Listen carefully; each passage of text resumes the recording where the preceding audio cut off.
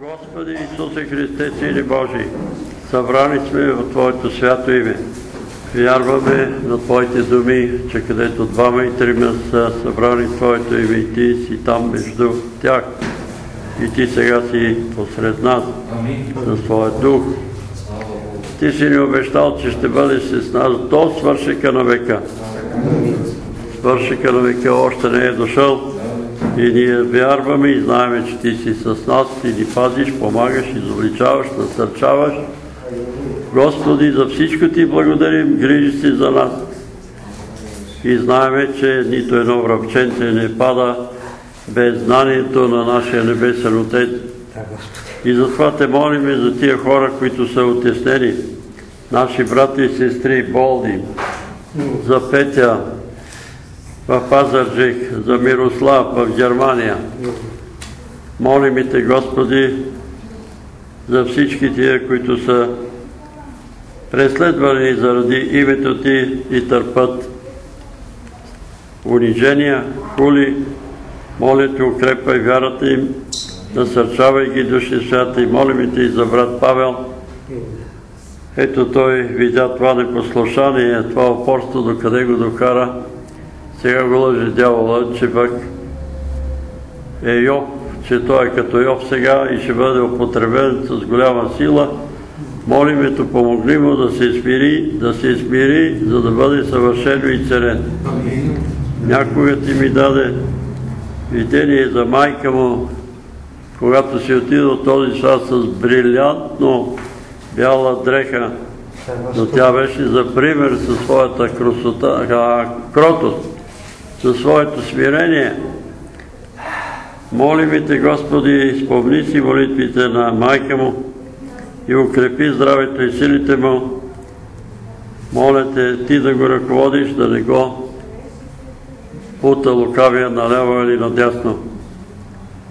Смили се за всеки един от нас, за всеки, който ще дойде на това събрание и който няма да дойде на това събрание, там където е, у дома или на друго място. Подбуждай Твоите люди да се молиме едни за други, защото знаеме, че това е Твоята воля. Едни на други да се изповядаме и едни за други да се молим. Алелуя! Молиме Те, ръководи това събрание, Душе Святи, дай ни Твоята благодат, Исусе, защото без, без Теб, без Твоята благодат, без силата на Святия Дух, нищо не можем да сторим. Благодариме Ти за храната, за облеклото, за въздуха, за водата, за мира, който има в домовете ни, в църквите ни. Благодарим Ти за възможността да се благовества, да се проповядва, да се служи от църквите в България. Молиме Те да опазиш страната ни от различни ереси, които вълнуват по целия свят християните и ги заблуждават и ги объркват.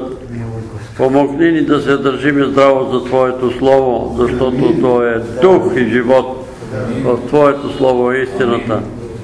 Молим Те, благослови подобни събрания тази вечер, където и да има събрание, в каквато и църква, каквато и деноминация, където се споменава Твоето име, където се принасят молитви на живия Бог.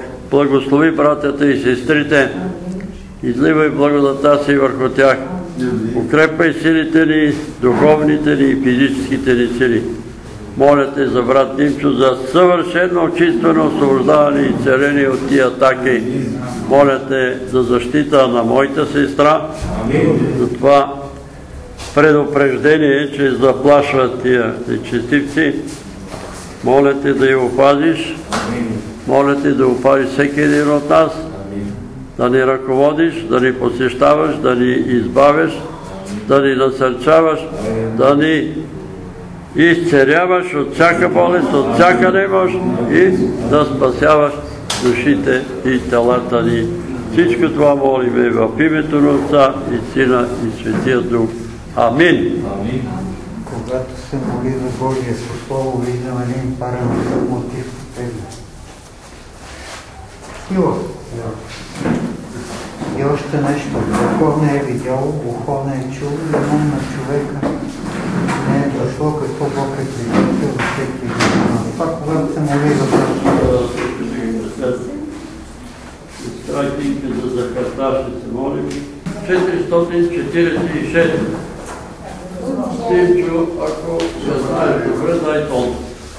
Заявам salve,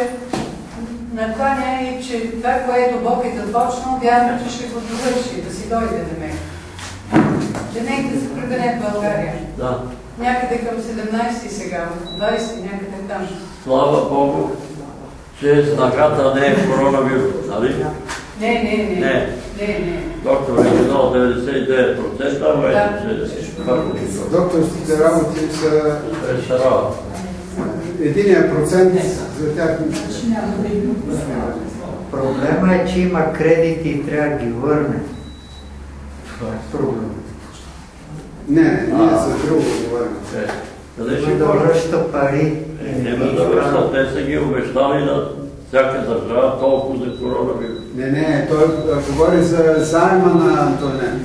А, кредита е на Антонен. Той трябва... Е, е, той като работи, тук ще ги връща. Е, тук, но той нали е там заедно. Ма там друг ли? Там. Там има друг, така ли? Платите от там. Взимал ли е от Германия кредит?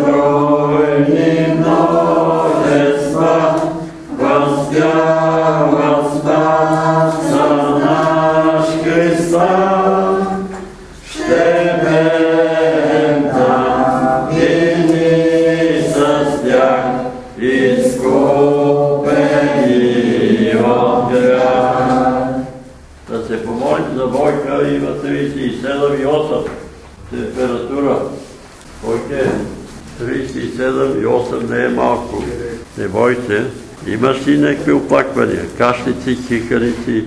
Немаш. Не, малко. Има малко. Малко.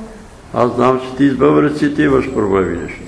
Да. Айде да се не изправим, да се помолим за Бойке, че Не продължи. знаем, кашлям време на време, така позакашлям. Господи, идваме при Тебе с Твоята рабиня Бойка.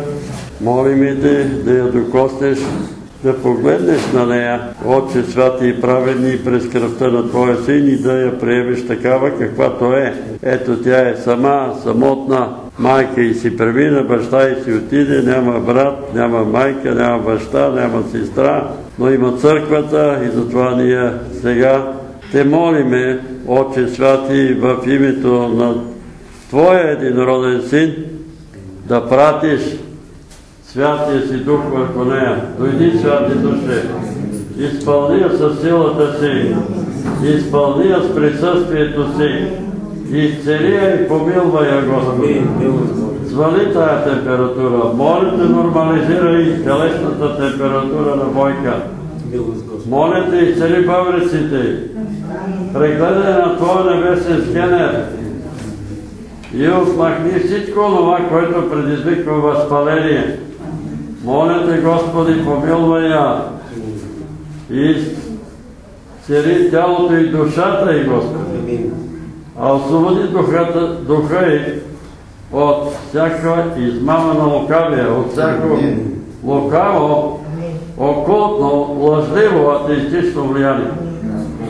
Болестни духове, в името на Отца, Син и Светия Дух, ви заповядваме, напуснете духа, душата и тялото на Бойка.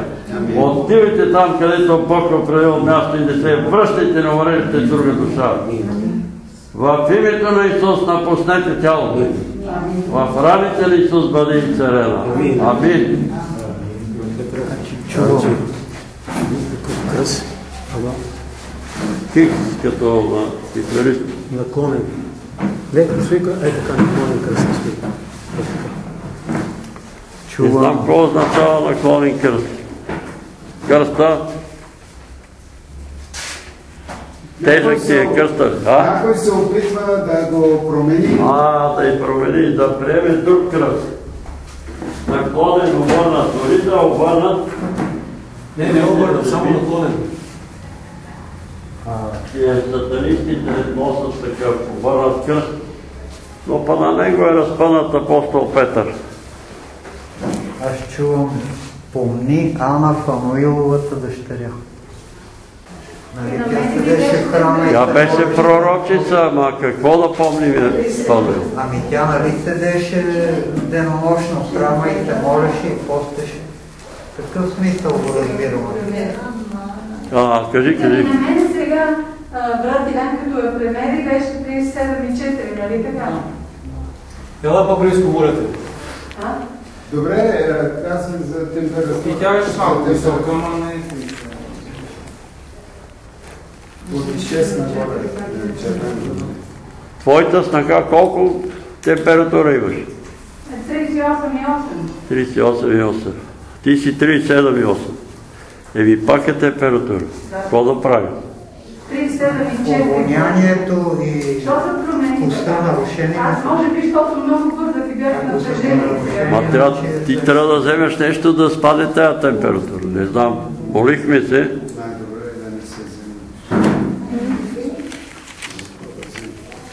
Ако има нарушение на вкуса и обонянието е... Ако имаш каслици, кихавици, не се бой, не се плаши, ама трябва да отидеш на лекар, трябва да се прегледаш. Не може. Се молиме за тебе, а и ти се моли, и Панчо е прав. Денем и нощем викай към Бога. Стигнахме до трета глава от посланието до Коринтияни. А сега да, да стоите ли Аз, братя, не можах да ви говоря като на духовния, като на плътски, като на младенци в Христа. Мляко и нахраних и не с твърда храна, защото не бяхте в сила да я приемете, па и сега още не сте, понеже сте още плътски. И мнозина, щом и наистина, щом има помежду ви завист, раздори, разногласия, не сте ли плътски и не постъпвате ли по-човешки? Защото, щом един говори, аз съм Павлов, а друг, аз съм Аполосов, не сте ли плътски? Какво е прочее Павел, какво е Аполос? Не са ли те служители, чрез които вие повярвахте и то според колкото всеки му от тях Господ е дал? Аз насадих, Аполос полива, ала Бог направи да израсте. Тъй, че нито който сади е нещо, нито който полива, а всичко е Бог, който прави да расте. Който сади и който полива едно са, но всеки ще си получи наградата според труда си. Защото ние сме съработници на Бога, вие пък сте Божия нива, Божие здание. Подадената ми от Бога благодат, аз като мъдър, първо строител положих основа, а друг зида върху нея. Ала всеки нека внимава как зида. Обаче друга основа никой не може да положи, освен положената, която е Исус Христос. Ако върху тая основа някой зида с злато, сребро, драгоценни камъни, дървета, сено или слама, на всеки делото ще стане явно.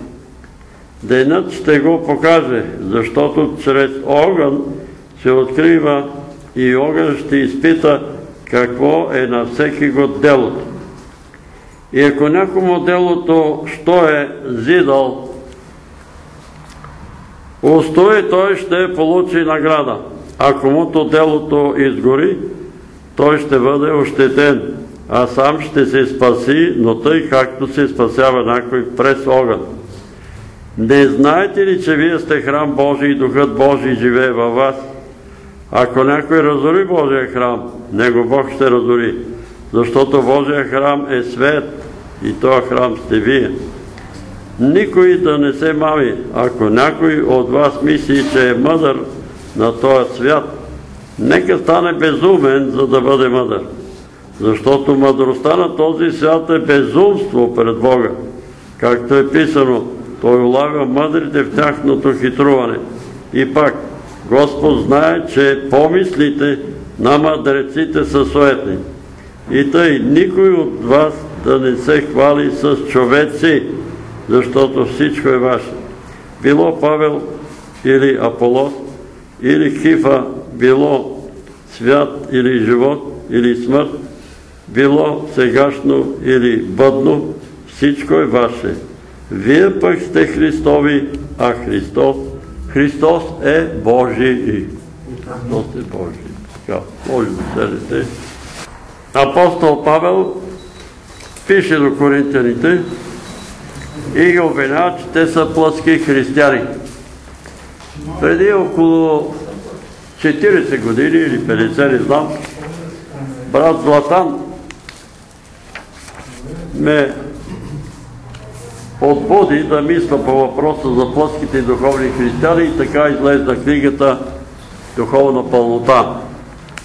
В тая книга там е описано качествата на плътските християни и качествата на духовните християни. Аз само ще ви прочита тия качества, които са записани като заглавия в тая книга Духовна пълнота, която сега я дадахме под печат, но ако е Божията воля ще излезне, да бъде Божията воля.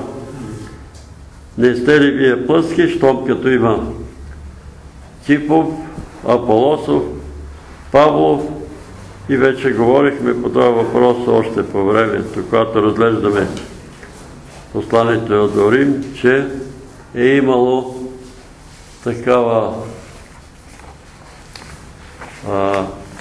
да я наречеме църква на времето, които са били последователи на апостол Павел, са наричали Павлови и така наречените павликяни. Те павликяни се заели голема част от днешна източна и северна Турция, от Сирия и са били много стрикни изпълнители на Божието Слово, но са били трън в очите на Византийската империя и затова те са водили война. Босна и Херцеговина също са приели павликанството и тия държави, които са приели павликанството, след това много лесно са приели исляма. По-лесно им е било да приемат исляма. И са се отклонили. Самото това наричане Павлови Кипови, за съжаление и днеска има такива, които рекламират различни личности, различни велики чудотворци и така нататък. Сега съжалявам, че трябва да го кажа, но трябва да говоря истината. Преди много години аз сънувах сън, че отива в църквата Света Петка и там изнасят иконата на Света Петка, говори се, но от алтара излезна Господ Исус Христос, те го засенчиха с иконата, само главата му се вижда, така и краката. И той ме гледа и ми казва, изместиха ме. Изместиха. И аз отидах на църква, беше Петкове, на света Петка, да не помислите, че имам нещо преди самата светица, мъченица, нали, тя е Божия угодница. Но през цялата служба името Исус Христос не се спомена. Може би е нагласено така, че говорите за светите, че говорите за еди кой си, но Исус да го няма. И брат Петко, да ме чуе, аз го казах на брат Тодор по пътя, ми е пратил един православен свещеник, говори, нали, ма той по политиката говори там, но рекламира Йосиф Висаронович Сталин. Благодарение на него. Той е забранил абортите в Съветския съюз. Той е забранил бусата и прелюбодействата. Той е направил не знам какво. Между другото, нали, на първо место в света по разводи и по извънбрачни деца е съветски. Беше съветски. България разделя второто място с Франция. Нали? Нали? А той е забранил извънбрачните връзки. Той е бил той, е така. Аз знам, че 20-та година е имало декрет, нали? Такъв. Обаче какво е станало? И целата му проповед е за Йосиф Висарионович Сталин. Сега аз нито съм съдята на Сталин, нито на Лени, нито ще ги съда, нито съм им адвокат. Но, некои след това има коментари и отдолу пишат на руски, нали? Пази Боже, в църквата Христова не се споменава името Христово, а се говори само за Йосиф Висарионович Сталин. Това се прави от некъв монах, Петко да ме чуе, нали? И аз го питам, той ни слуша, брат Петко от Лондон, как си представя той Исус Христос ще следне от трона и ще се качи там другара Сталин с чибука, с лулатата. Вие представяте ли си го? Не. Ма не може да се говорят тия глупости. Църквата не може да се занимава с тия работа. Друг ще почне да величая Хитлер. Хитлер беше така дисциплина, имаше в Германия еди какво. Това църквата ли трябва да се говори? И не ми ги пращайте такива, не ми, не ми губете времето. Това е загуба на време. Първо, това е много хитър номер на дявол. Пускат и тия неща и ти ги слушаш и после легаш и под, вместо да мислиш върху светото писание, върху святата Библия, ти мислиш кой какво казал, нека да си там, по Русия или по Америка или какво казал. Не, ги пращайте, съжалявам. Бойка ще ви прати нещо, то ще ви прати друго, не ми ги пращайте, не искам да ги слушам. Не ми ги пращайте. Имаме си Божие Слово, четете го и изпълнявайте това Слово Божие. Кои човеци са плътски? Християни. Не става въпрос за атеисти. Атеистите, те са плътски. Те си мислят само за землята. Това са хората, които слушат Словото Божие или го проповядват. Като мене, хора, които проповядват или слушат, но не го изпълняват. Какво казва Исус за тях? Те приличат на глупави домостроители, които си построиха къщата на пясък и като заваля дъжда, като духнаха ветровете и като дойде бурята, събори тая къща. Защо? Защото тя нямаше основа. Тя няма основа. Слушаме и нищо не изпълняваме. Кои са духовните, мъдри? Ония, които слушат Словото, разсъждават върху него и го изпълняват. И го изпълняват. Те строят своя духовен храм на Канара. И придойдоха водите, духнаха ветровете, но къщата устоя. И сега вие знаете, че при тия големи наводнения много мазета, много къщи беха наводнени. Защо? Защото са ги построили там до реката. Защо до реката? Да могат да ползват за поливане на водата. Обаче, като дойде наводнението им напълни мазета, напълни им къща. Защо? Защото не са го предвидили. А те трябва да го предвидят. А Библията пише, че зайците са по-мъдри от хората, защото си строят къщите на, на канара. На високо. На високо си правят къщите. И така, уния, които не изпълняват Словото Божие, а го четат и го проповядват, са плътски християни. Плътските християни прелюбодействат със света. Апостол Яков пише, който люби света, става враг на Бога. Прелюбодей и прелюбодейки, не знаете ли, че приятелството със света е връжда против Бога? Приятелството какво има в света? В света какво хората се стараят света? Да придобият знания, да станат велики учени, да израснат в кариерата, да придобият много богатства, къщи, вили, модерни коли. Всичко това е желанието на човека, който е в света и да натрупат много капитали. Не е грях да се занимава човек с работа, с бизнес, да работи, да произвежда, да дава работа и на другите, това не е грях. Но, ако ума е само там и не остава место за Господ, рано или късно той ще се отклони от пътя на вярата. Прелюбодейство със света участие в политически партии и организации. С Коричев ни извикаха в Самоков един брат тяхно се е разболял и се е парализирал. Когато отидах, али аз съм го казвал този пример, може би скоро го казвах, този брат се казва Стефан, дякон в Коришанската църква. И когато отидахме там при него, един брат Георги ни заведе там и аз получавам от Святия Дух отговор няма да го изцеля, защото е гласувал за БСП. Гласувал е за БСП 1995 година на 18 декември. Запомнил съм дата. На 19 се е парализирал. А на 17 декември Жан Виденов каза от площад независимо.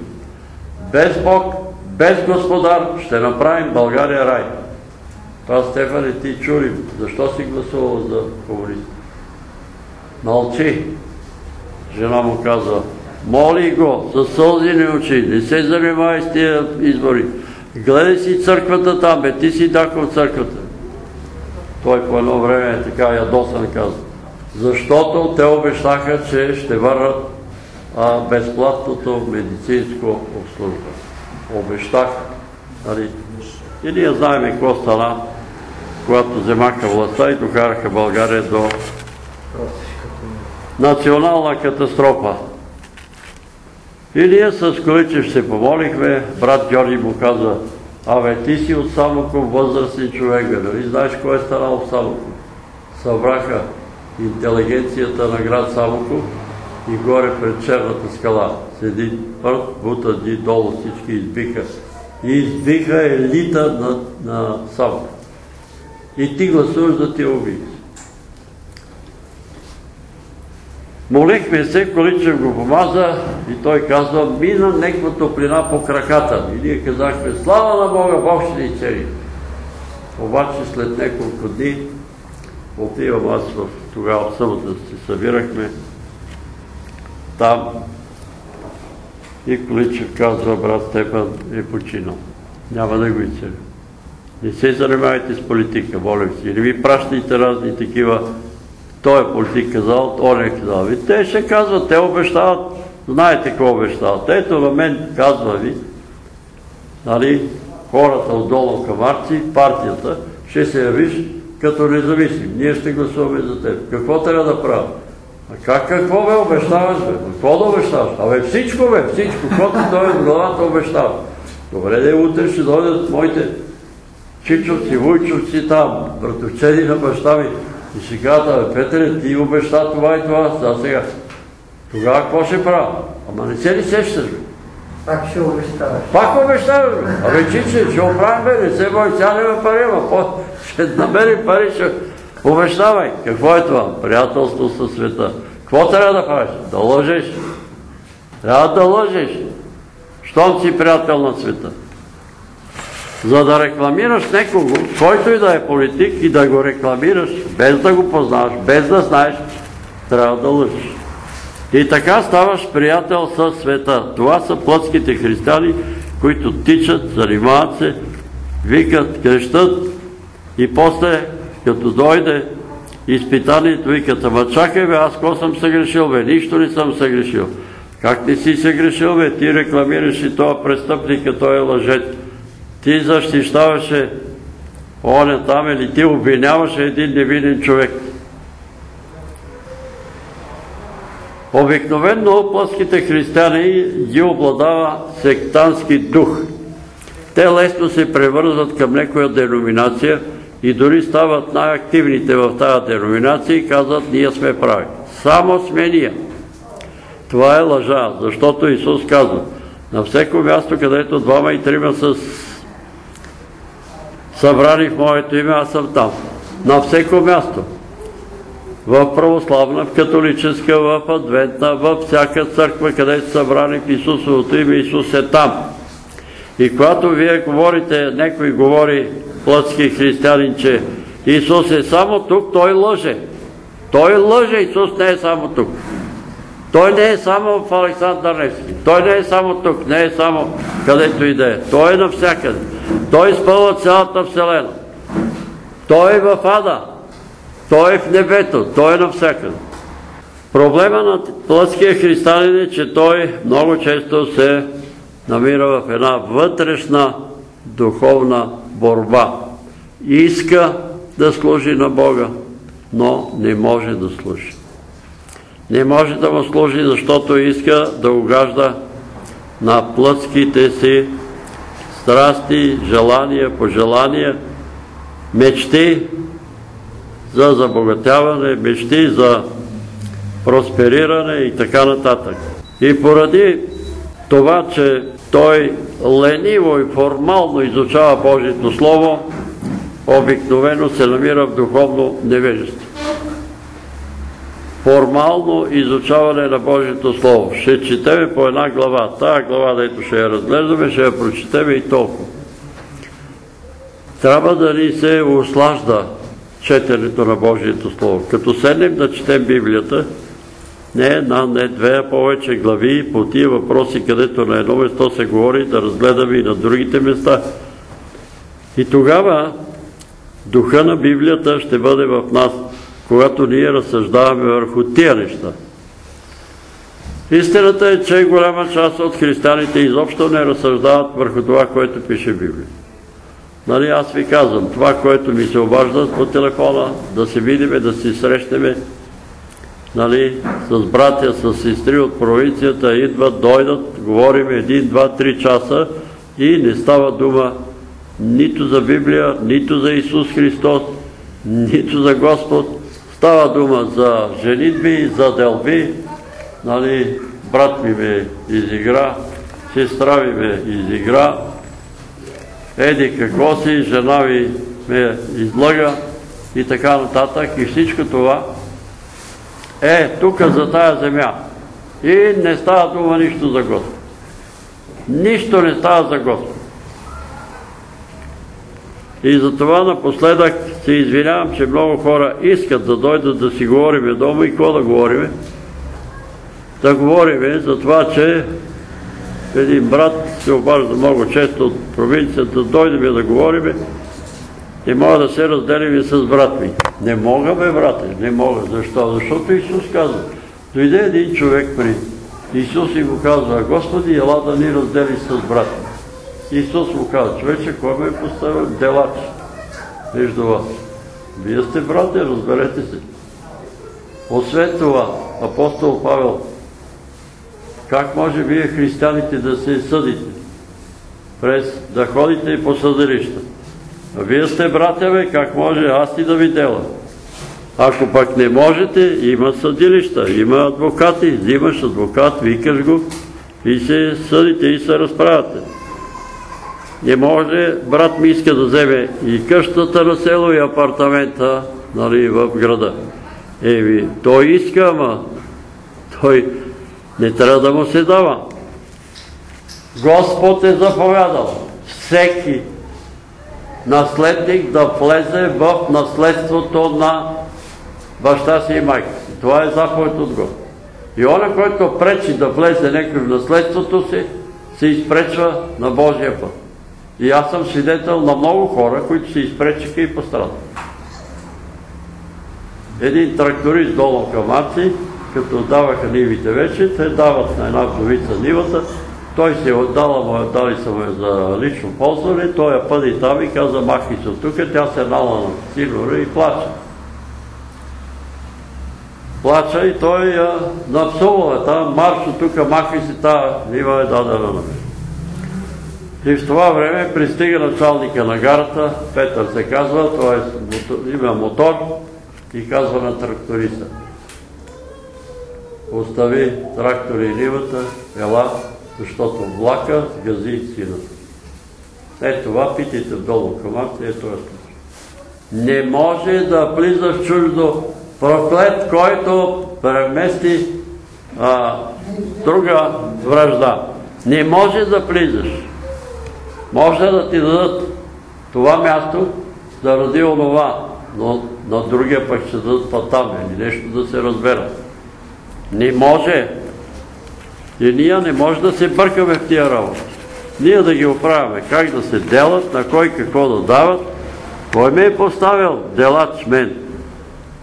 Обикновено духовното развитие на плъския християнин спира. И тук казва апостола, че си остават младенци в Христа. Младенци, деца. Деца във вярата и се налага да ги храни с мляко, а не с твърда храна. А пастира на Горно Оряховица беше казал там църквата. Не ходете при това Петър Роял, защото той храни хората с много груба и твърда храна. Груба и твърда храна. Идвайте при мене, аз ще ви храна с мляко. Какво означава това? Идвайте тук да си останете духовни. Кармачета. Кармачета, да. И затова такива хора а, а, Господ Исус Христос казва в пета глава от Матея е записано Оне, който изпълни една от най-моите малки заповеди, велик ще се нарече в Божието църква. А оне, който наруши една от най-малките заповеди, ще се нарече малък в Небесното царство. И така един евангелски пастир наруши една евангелска заповед и изопачи Божието Слово, като каза, че в Кана Галилейска Господ е направил водата на гроздов сок или оранжада и Той човек си замина, той пастир си замина много скоро, след 10 дни. И аз го сървах, че той се, двама ангели го водат небето. Освен това той проповядваше, че покриването на главите е ориенталщина и се отнася за ориента. Но в съня ми видях в небето един хор, дамски хор, жени, облечени в национални български ручи, забравени скърпи, бели кърпи, пеят Христос възкресе. Ангелите го заведаха при тях и му казаха пей. Той обаче не можеше да пее. Пей, не може. Само излиза, а, нека звук. Дадаха му един окардион. Но той като каза така, оказа се, че тук му липсат тия пръсти, някои го изтълкуваха, че от 10 Божи заповеди 6 е нарушавал, тия пръсти ги няма. И така не можеше да свири. Сложиха му окардиона на краката и там не можеше да свири. И изведнъж този човек, както си беше нормален, ръст, оп, не е толкова малко чудже. Заради нарушаването на тая заповед и проповядването жените да не се покриват, в Кана Галилейска е направил водата на оранжада, небето е толкова малко, ощетен. Цял живот е проповядал Божието Слово. Какъв е? Плътски християни. И когато му говорех и сме се разправили, че виното е кръвта на Исус и хляба е тялото на Исус, той твърди, че това не е верно, че това са символи, но аз сънувах сън, че той е в църквата, държи чашата и казва, това са символи, каква кръв, това са глупости. И тогава в съня аз казвам, глупости ли? Аз съм сигурен, че Исус е сега тук между нас. И да блесна една светлина, Исус застана между нас. Той падна на едната страна, аз се свлекох така, прегърнах краката на Исус. Той сложи ръцете си тук на раменете ми. И така се събудих и след няколко дни този човек си премина за вина си. И може да се говори глупост. Внимавай, това е кръвта на Исус. Това е тялото на Исус. Това е тяло. Димчо ще ви каже, отиваме при един пастир, мисионер в Турция, болен от рак. Защо си болен? Знам защо съм болен. Защо? Защото отслужвах, вика, в Турция с солети и лодосток. Отслужвал Господна трапеза с солети и сок. Аз знам. Е, защо го направи? Ти знаеш ли, че това е кръвта на Исус и тялото ни? Знае. А защо го направи? Еми, американците, които ми плащат там да бъдат, те ме накараха да го направя. А сега къде са американци? И този човек си премина. Мисионер.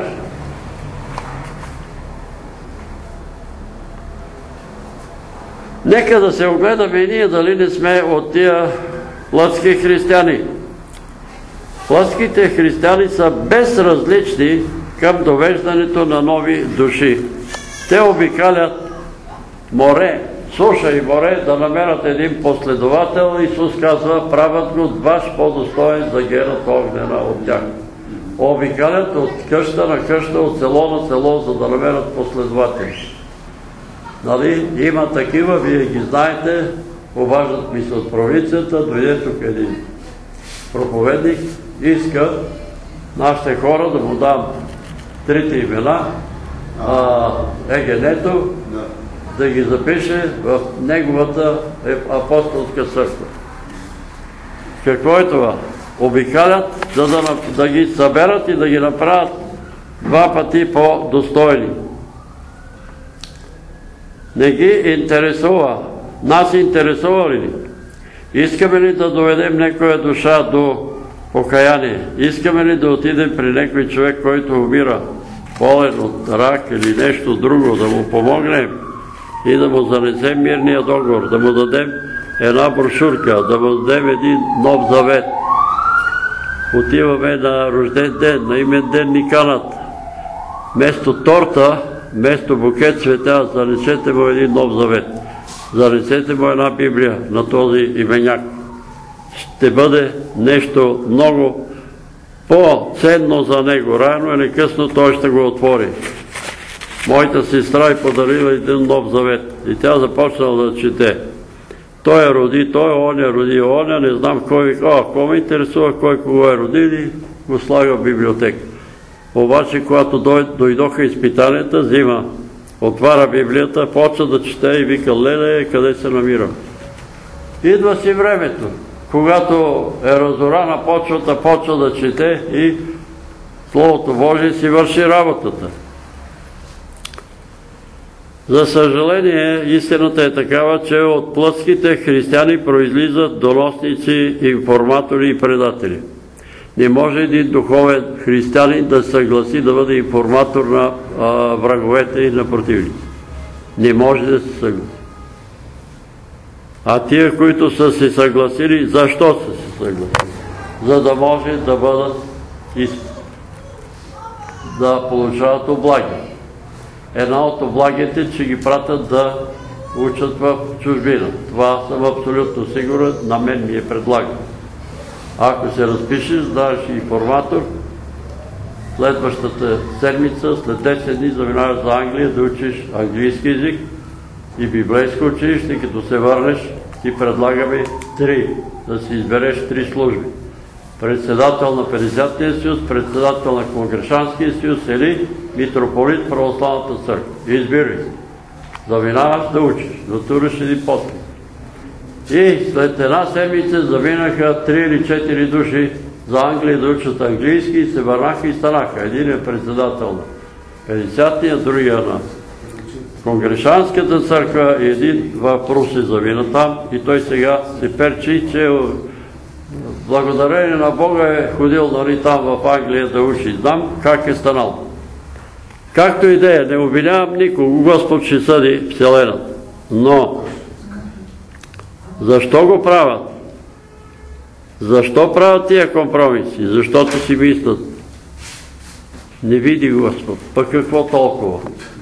Ами, нека да знаят. Нали, те знаят, че аз проповядам, че Панчо ходи на църква, че Гинка ходи. Те знаят. Те знаят. Обаче по тия информации, които са получавали, и поради клеветите и лъжите, които са писали, някои хора са били тайно умъртвени. Някои хора са били уволнени дисциплинарно от работата, какъвто е случая с моята сестра. Няколко дни след като един от пасторите учи, тя работи в радиото, след няколко дни уволниха по непригодност. А беха и дали златен орден на труда 20 години безупречна работа в радиото като редактор. И след като отида на църква и той дава информацията, веднага я уволнява. Това го изявява много тежко. И те си мислят, това нищо не е, ама е нещо. Това е нещо и в съдния ден тия, всичките тия информатори ще излезат.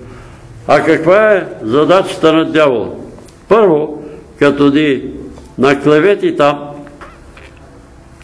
самите ти информатори и доносници да ни намразят. А след това ги разкрива, та ние пък да ги намразиме тях. И да се, изпълнява Словото или пророчеството на Господ Исус Христос. И в последно време едни други ще се предадат и едни други ще се намразят. Ще се намразят. И тия, дето са ме предавали, затова аз казвам, не ви мразя, знам, че сте се съвлазили. Знам, че са ви заплашвали. Но мен не са ми заплашвали, мен са се опитвали да ме съвлазняват. А вас са ви съвлазили. Да отидете в чужбина, да учите, да станете такива инакви и станахте, но вече ги няма. Преминаха си за много малко време. И когато тия хора беха назначени в църквите, аз сънувах сън. Ти се намира в долу Камарци, в местността Дюлдере. Магистралата е пресечена на едно разстояние, колкото тук до стената. Отдолу е бездна. На една талпа тия пастири са наредили и проповядват Евангелие. На другия брак стои един огромен ангел, може би 3,5 метра с крила и ги наблюдавам. Аз съм на този брак, а той е на другия.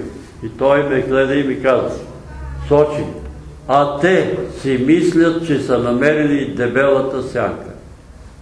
Тия хора си отидат избре. Няма ги. Мислят си, че са намерили дебела. Какви са тия пастири? Плъцки. Ако те беха духовни, щеха ли да се съгласат? Да станат информатори, да станат доносници. Плъцки християни. Но трагедията е страшна. Нали, аз в тази книга, ако види бял свет, съм описал отклонения в Баптистската църква, информатори в Конгрешанската църква, отклонения в 50-та църква и така нататък. И тия думи ги свалям от амвона. И тия отклонения са, за да може ние да внимаваме да не се отклониме и ги казвам не за да ги клеветя, не за да ги осъждам, защото те са служили на Бога. Лошо ли са служили, добре ли той ще ги съди. Пред своя си господар те стоят или падат. Но това трябва да се каже, за да внимават бъдещите поколения. Защото те си играят с огън. Те си мислят игра, еми, голема работа. Нали, ще бъдем информатори доброволно отряд, държавна сигурност в партията и така нататък. Всичко се плаща. Друг белег на плъските християни, че те много лесно се съгласяват да изопачат свещеното писание.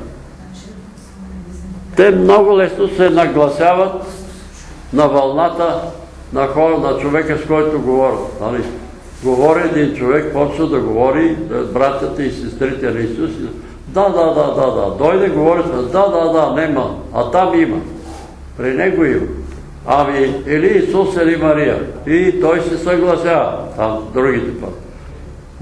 Отвърля Мария. Дойде тук, да, да, да, може и, и Дева Мария ще я почита.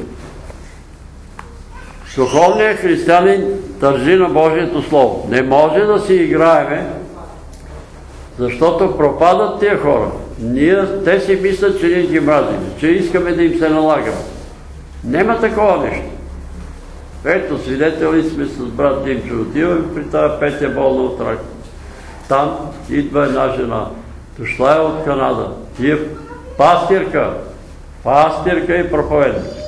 И брат Иво ми е твърдил, в Швейцария пастирите са пастирките, вече са малко повече от пастирите. Жените са повече от мъжете. Пастир. И тя проповядва за братата и сестрите на Исус. И заявява пред нас с Димчо. Дева Мария е родила пет момичета и пет момчета. И когато ние казваме, жено, ще гориш в ада за тая лъжа. Какво искаш да кажеш? Аз съм еретичка ли? Еретичка си. Еретичка си и проповядваш ерес. И ще гориш за тая ерес в ада, ако не се покаже. И тя си мисли, че ние с Димчо е мразим. А не, тя не си дава сметка, че точно ние сме, които и помагаме да не отиде в ада. Защото другите пастири, които ще кажат, да, да, точно така, не се прете, продължай да го проповядаш. Къде я водят те? Водят те в, в пъкъл. Водят в огненото езеро. Защо е тя такава проповедничка? Защото е плъска християнка. Тя не иска да види духовните неща. Тя не гледа духовното, тя гледа плътското. Как е възможно нали, Йосиф и Дева Мария да са женени и да немат интимност? Еми, възможно е, защото не са като теб. Те са святи мъже. И святи жени. Святи мъже и святи жени. За тях нищо не е нали, той да гледа на нея и тя му е родина, като една племеничка, той е оброчник. Оброчник, а е мъж формално. Имах един приятел, доктор Трамчев. Той се разболе от бъбречна недостатъчност. И го сложиха го на хемодиализа. И той замина за Франция, за да се лекува. И там една католическа монахиня се съгласи формално да се венчаят, да се оженят, за да може Дранчев да се лекува във Франция. Тя си остана монахиня, не е имал никаква сексуална връзка между тях, но те се ожениха формално и той живя там доста време, лекова се, направи е, така фирма за лечение на такива на как се казва, тия хемодиализи. Така че ето за един човек, едни обикновени хора е възможно, да е, това е. Защо е невъзможно? Защото сте плъски. Защото сте плъски християни. Един брат се обажда от Варна, вика имам проблеми, атакуват ме сексуални такива духове. И аз му казваш, еви, казвам, трябва да се покаеш, трябва да изповядаш какви сексуални грехове си вършили, забирала ли си на жена ти, правили си секс с семея на жена, защото това е, хората не го говорят е така на Исус. Знаете ли как, какво пише там в Исус си Сирахов? Жена, която живее с семеен мъж, е под проклятие, защото вернила друга брачна постеля и нейните деца и внуци ще бъдат под проклятие. Така е записано. Исус се Сирахов. Вика, ти си изневерил на жена ти и оттам имаш сексуален дух. Аз не може да имам сексуален демон. Аз съм кръстен Святия Дух. Бе, може пет пъти да си кръстен. Защо ми се оплакваш, че те атакува сексуален демон? Защо? Защото си извършил такъв грях. Извършил си този грях и си го познал и той сега те разиграва.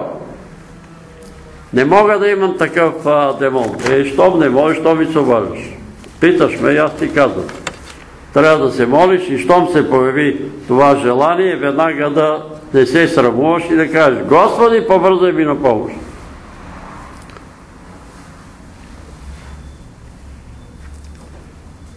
И така, ония християни, пастири, велики учители, които изопачават писанията, са плъски християни. Колкото и да са велики. И затова ние не можем, ай, не можем и да наричаме тия човеци велики, докато не са преминали от тази земя. Защото не ги знаем утре дали няма да се спънат и да падат. Великия проповедник, великия еди кой си, великия, велик само Бог. А той, Исус каза, и когато извършите всичките тия чудеса и целите болни, възкресите мъртви, изгоните бесове, развърнете бесноеми и направите други велики чудеса, казвайте. Ние сме великите апостоли, така ли? Какво казайте? Ние сме негодни слуги на Господа. Чували ли сте го някой да го каже? Некой папа, патриарх да е казал, аз съм негоден слуга на Господ. Некой пастир да е казал, аз съм негоден слуга на Господ. Не го казва. Защо не го казва? Защото иска да бъде велик. Ма не може да бъде велик.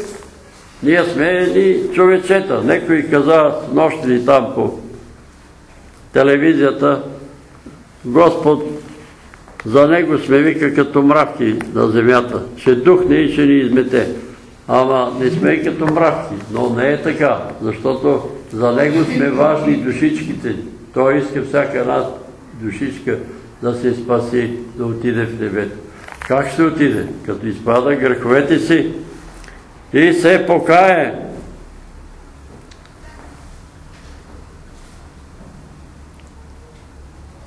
И така, ето апостола казва, кой е Павел, кой е Аполос? Павел насадя, Аполос полива. Обаче, кой прави да расте? Бог. Кой прави да расте? Бог. Ако Бог те направи да расте, нищо няма да стане. Моята съседка Таня, я познава Димчо, си е насадила домати, пихирала ги там, насадила ги И вече два месеца и се е толкова. Стоят и не растат. Моите са толкова вече, а нейните са и толкова. И тя ги полива и си е там. И ги полива през ден, през два, аз съм тук. И онзи ден седнах на пейката и го питам, Димитър, какво стана с вашата дома? Нищо да растат, бе. Защо не щат? Защото Бог прави да растат. Аз не правя да растат, нито не прави да растат нейните домати. Но той прави нейните домати ни се да растат. Нещо е станало. Или земята е отровена, или нещо има там. Но Бог прави да растат. Така и във вярата. Бог прави да растем духовно. И славата принадлежи само на Него. Всички, включително и аз, когато свидетелстваме, казвам, аз бех болен, но постиг два дена. Или молих се по три часа. И слава на Бога, сега съм здрав. И сега, чия е славата? Чия е слава моя? Защото съм пустил и защото съм се.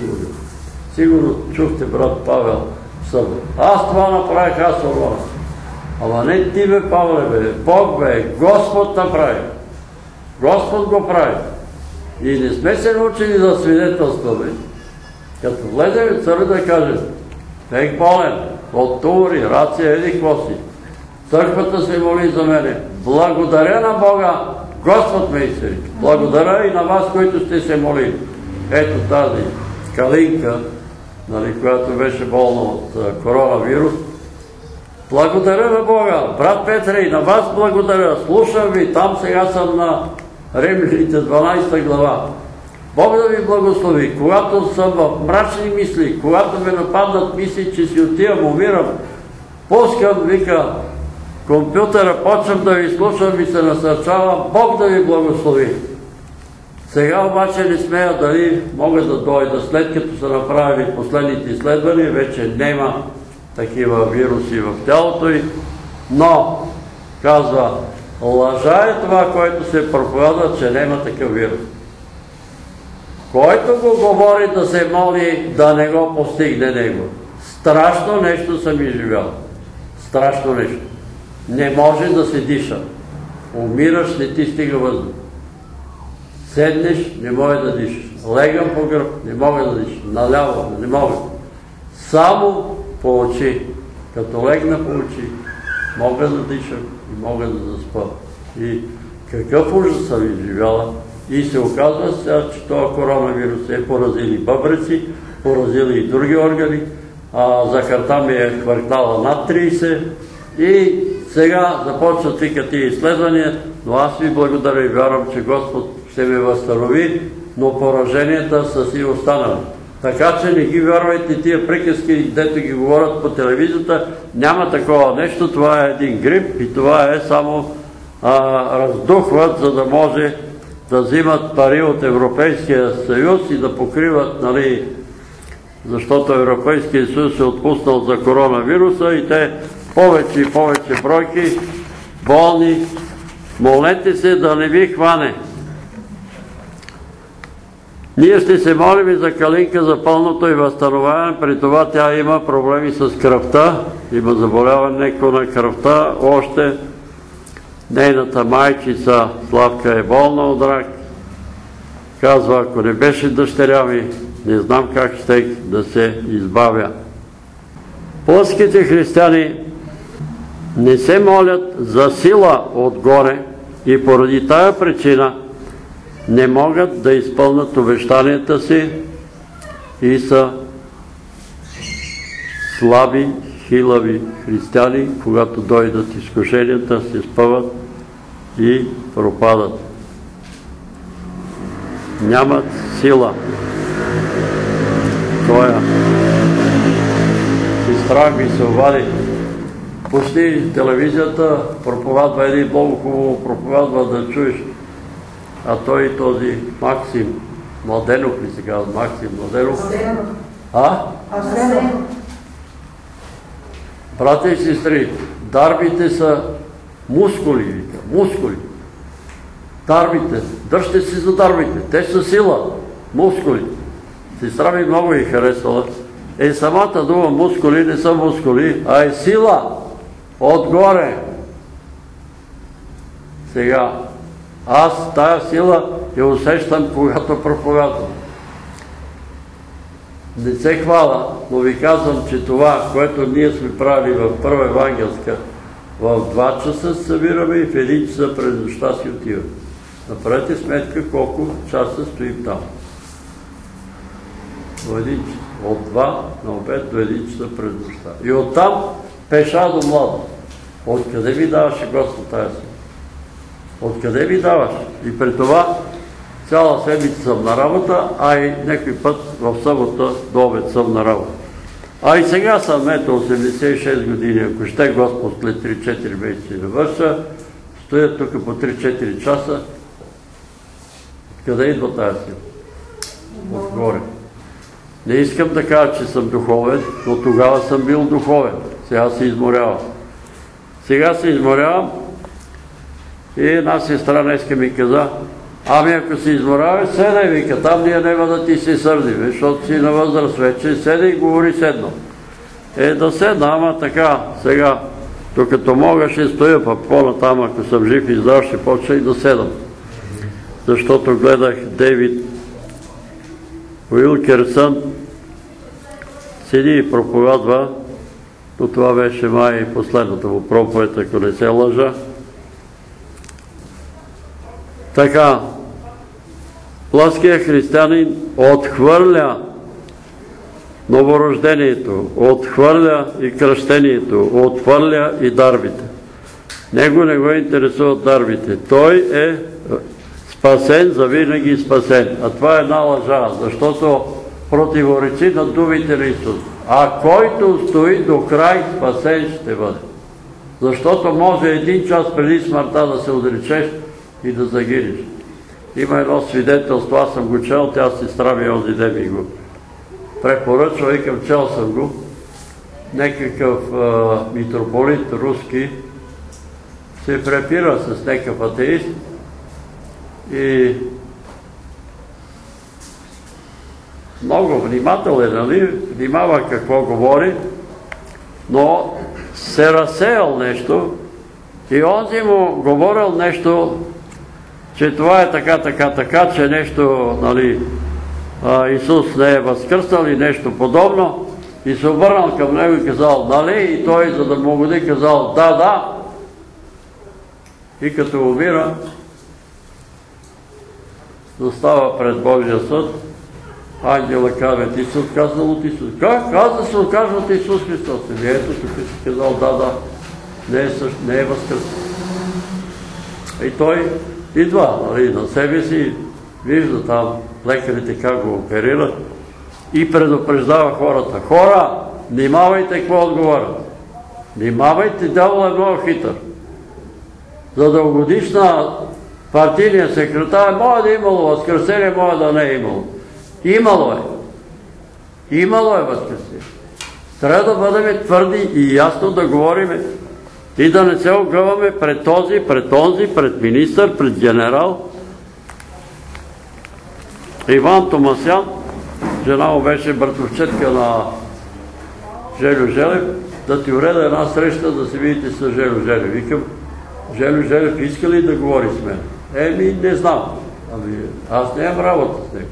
Желю Желев излезна пред народното, пред народа и каза, не вярвам в никакъв Бог. Аз работа имам? Каква работа имам там при него да ходя се препирам? Затова казва ми някой, не вярва в никакъв Бог. Искаш ли да повярваш? Не искам. Заминавай се. Искам да повярвам. Ето един мирен договор. Почне да четеш. Ето едно Евангелие. Чети. Това е вярата. Това е вярата. И резултата е на лице. И така, плътският християнин приема други учения. Почва да гради на друго учение. А тук казва апостол Павел, няма друга основа, освен положен. Исус Христос. Учение, вероучение без Исус Христос не е християнство. Не е християнство. Нали, казвал съм и повтарям. много пъти сестра ми се кара. Стига си повтарял и същи работа. Македония ме питат, нали, представят се. Ние сме баптисти, ние сме конгрешани, ние сме 50-ти, ние сме адвентисти, много учево, че съм адвентист. ние сме яковисти. Брато, а вие от кои сте? Викам, ние сме християни. Е, па, ние сите сме християни. Ама вие сите сте християни, ама аз не чух някой от вас да каже, че е християн. Той е бил баптист, оня методист, оня не знам какъв. Какво ви ползват ти имена? Какво ви ползват? Земна слава. Вие знаете ли, аз съм методист. Панчо, извинявай, ако ти си методист. Не си ли? В Антиохия, какви се нарекоха Христовите ученици? Християни. Не може друга основа. Има ли друга основа? Ще рухне. Другата основа ще рухне. Рано или късно. И сега всеки да внимава как зида. Един зида с слама, друг с злато, друг с сребро, трети с сено и на всеки работата ще бъде изпитана. И когато работата бъде изпитана, на този, който ето сега, виждате ли, те работата, чакай да го прочетеме точно, и на всеки му делото ще бъде изпитано. Не ни трябват дела. Ние се спасяваме по благодат. Нема нужда от дела. Ама тук пише, че делата ни ще бъдат изпитани. Има ли нужда от дела? Има. И ще бъдат изпитани делата. И ако нашите дела са слама и сено, ще изгорят. Ще се спасим, но като през огън. Като през огън. И така, че делата трябва да следват след новорождението. След кръщението, след новорождението. Делата трябва да следват. Тия дела са или сребро, или злато, или сено, или слама. Какво вършиме? Сламата и сеното ще изгорят. Повтарям, пак повтарям. Тимчо е чул, един брат бил е във Варна или Бургас, е станал в църквата и е казал по време на молитвата, видях, че влезна от вратата един огън, който заля цялата църква. И кожите на хората се свлекоха от телата им. И едни от човеците се оказа, че са с железна конструкция, а другите с сламена конструкция. Това е видението, всеки да си направи сметка. Нали? Какво, какво значи това? Едните са с железна конструкция, едните слушат Словото и го изпълняват, а другите слушат, но не го изпълняват. Те са отишли така като на забава. Подобно нещо сънувах и аз. Сънувам, че идват едни строители в една църква, където аз там проповядам. Тая турба ми беше там с Библията. И те казаха, тук сега ще построим голема църква. Голема църква. И почнаха да докарват материали. Много хубави такива бичевета, чамови трупове, наредиха ги върху земята, наредиха ги, заковаха ги почнаха да зидат нагоре. И аз казах, аз тук в тази църква няма да проповядам. Дайте ми Библията. И някой ми я подаде, аз я вземах и отидах на гарата. И се построи много голяма църква. Много народ се събра, но това казвам, това ми се дава. В духа, некак си, разбирам, че тия строители на тия църкви са комунисти. Не са християни. Те са пратили комунисти там да построят тия църкви. Какви са тия църкви? Плясканици, танцуване, финансов просперитет и така нататък и други учения. Но, когато отидох на гарата, ми дадоха задача да кача четири големи траверси, траверси железни, двойно те, от тук до стената, да ги кача там на перона, да ги кача на влака. Завлекох ги там, качи ги, имаше съпротива, началника на гарата ми пречеше, но въпреки това всичко се уреди. И изведнъж гарата, пред гарата имаше огромен площад, ама много хиляди, хиляди хора дойдоха там пред гарата. И не знам колко, може би 40-50 души се отделиха от тия хора и се строиха пред гарата в редици два. В две редици като войници. Наредиха се в две редици като войници. И изведнъж стана нещо. Хората изведнъж се промениха. Тия, които беха в редица по двама, станаха железни. А ония станаха дървени от изсъхнали дървета, ето сега пред мен е това ръката там на един, дето пищеше, като дърво, което е обелена и изсъхнало дърво за огън. И той и другите викаха, помогни ни, помогни ни. Не мога да ви помогна. Кои са тия железните?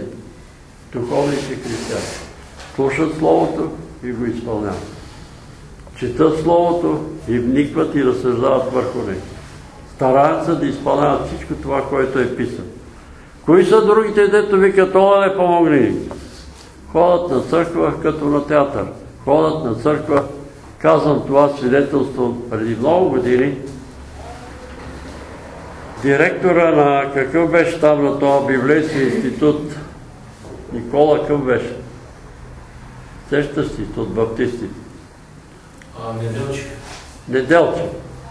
Николай Неделчев. Николай Неделчев стана в Баптистската църква и каза, брати и сестри, аз съм роден в тази Баптистска църква. Тук съм идвал от дете.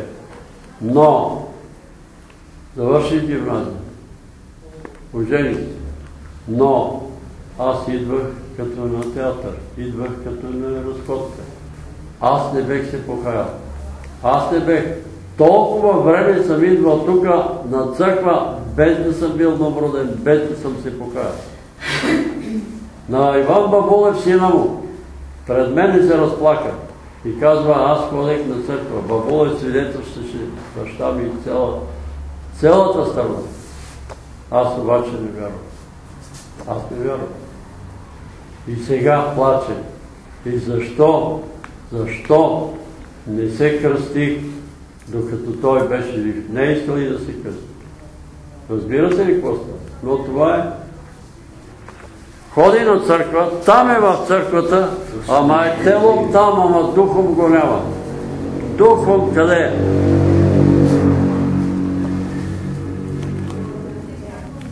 И така, комуто делото, не думите, делото устои, ще получи награда. Комуто делото изгори, той ще бъде ощетен. Сам ще се спаси, но тъй както се спасява някой като през огън. И по-надолу, тъй като знае апостол Павел, че Коринт е бил един от най-развратните градове по това време и предупреждава за тия сексуални грехове, които и сега потопяват много хора и погубват. Не знаете ли, че вие сте храм Божий и Духът Божий живее във вас? ако някой разори Божия храм, него Бог ще разори, защото Божия храм е свет и този храм сте вие. И тук се намеква за самоубийство, защото са ме питали и по телефона ми се обаждат, скоро едно момиче се обажда. Добре, ако аз съм психично болна и посегна на живота и се самоубия, Ами ти самата, като ме питаш вече, ти не си психично бол. Знаеш ли къде ще се събудиш? Разрушаваш Божия храм. Твоето тяло е храм на живия Бог. И ако го разрушиш, събудиш в огната езер. Не ме питай. Ами се стегни и почти да се молиш, да ходиш на църква. И така, който се опита да разруши този храм, не само той, който сам го разруши, ама и оня, който отвънка разрушава моя или вашия храм горкому, защото той не разрушава само тялото на Иван Драган, а разрушава Божии храмове. Когато убиват християни, разрушават Божии храмове. Тия, които ги убиват. Никой да не се мами.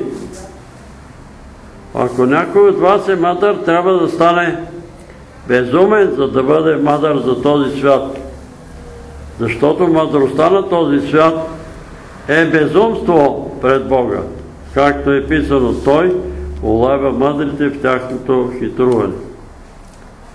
Разбира се, Бог е дал знание и мъдрост на всеки човек, учи хората какво да правят, как да правят, учи ги в работата им, учи ги в професията им. И човек, ако се моли на Бога, ще усети това, това бодене, това ръководство, това учение, това Господ го учи какво да прави. Земеделай се кога да посее, кога да полива, кога да жъне, кога да коси и така нататък. Бог му дава мъдрост.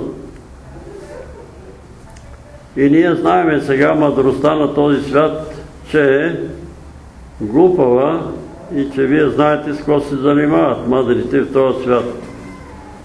И Господ знае, че помощите на мъдреците са суетни. Суетни. Защо? Защото не знаят утре дори ден какво ще стане. 2029 година ще стане еди какво си. Ама сигурен ли, че стане? Пророкуват, нали, и правят планове. Така ще стане, иначе стане. Ама дали ще стане? И още един път тук никой да не се хвали с човеци. Аз познавам апостол Павел, аз познавам Аполос, така се хваля, нали? Аз познавам Белихим, аз познавам Томи Караколев, аз познавам и колкото го познавам. И той е грешник като теб. Аз познавам Петър Велев. И какво Петър Велев? Големия грешник. И тъй никой да не се хвали с човеци. Било с Павел, Аполос, Хипа или който и да било. Било с сегашно, било с бъдеще или бъдно, защото всичко това е ваше. Вие пък сте Христови, а Христос е Божий. Вие, ние, плътските християни, въпреки всичко сме Христови. И затова следващия път, ако ще Господ, ще поговорим и за духовните християни, дай Боже, да се намериме между тях. Ще се молим за Калинка, която е по-добре изцерена от коронавирус, за дъщеря и майка й, за сестрата и зета, на сестра Виолета от Благоевград и двамата са болни от коронавирус. И ще се молим за всички брата и сестри от църквите, които вече са попаднали под ужасите на този демон, който е дух на мор. Ще се молим за сестра Желязка от Варна. Има силни болки от колената надолу.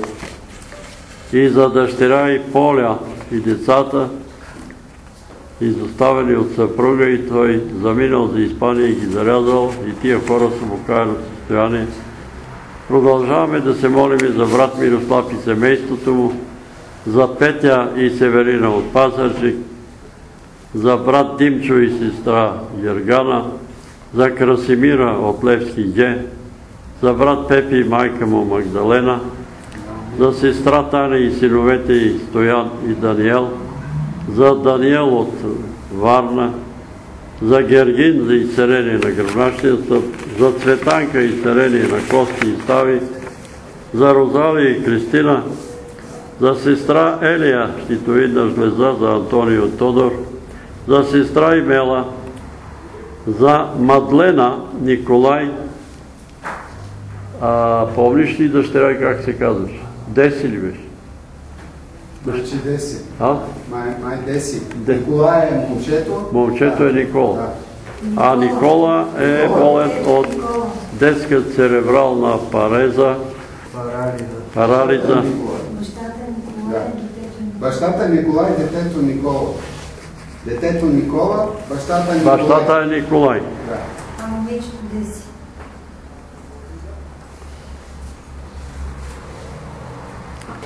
За Цветелина, снахата на сестра Цецка, която се оказа, че не е болна от коронавирус. Нали? Лекар беше казал 99, обаче се оказа, че не е коронавирус. Много интересно, че всички симптоми бяха за коронавирус. Всички симптоми.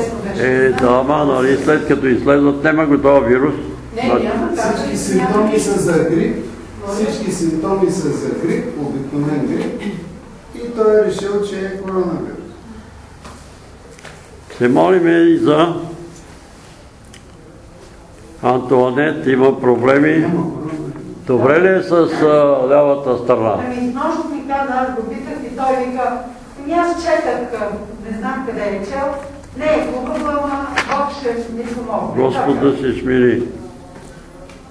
За Мариана не израста и роднините й, за Теодора не израща и роднините й, за Милена паник, атака, отказа лък. Паник, атака, да си провери тя температурата, защото лекарите казват паник, атака, обаче температурата, щом пада под 35, това означава, че има някакво отравя. Да си провери кръвта, да си провери урината, защото може да има някакво отравяне и тогава не от паниката, а от това, че или отравяне, или преумора. И сега сестра Цветелина ще ходи да я види там. Ние ще молим за Цветелина и Валентина, майка и не може да ходи вече. Ще се молим и за сестра Боремира, за Кристияни и Светозар. Господ да ги благослови, да ги опази и да влезнат в наследството на баща си. Господ е ревностен, Той е наредил всеки да влезне. Бил Той добър, лош, престъпник, убиец, трябва да влезне в наследство на баща си. Така се е погрижил Господ за човечеца наследство. И оня, който пречи, бърка в зеницата на окото. Да не казвам толкова примери около мене, които попречиха на хората да си влезат в наследството и пострадаха. И чакай малко сега, виждаш, че ги четат.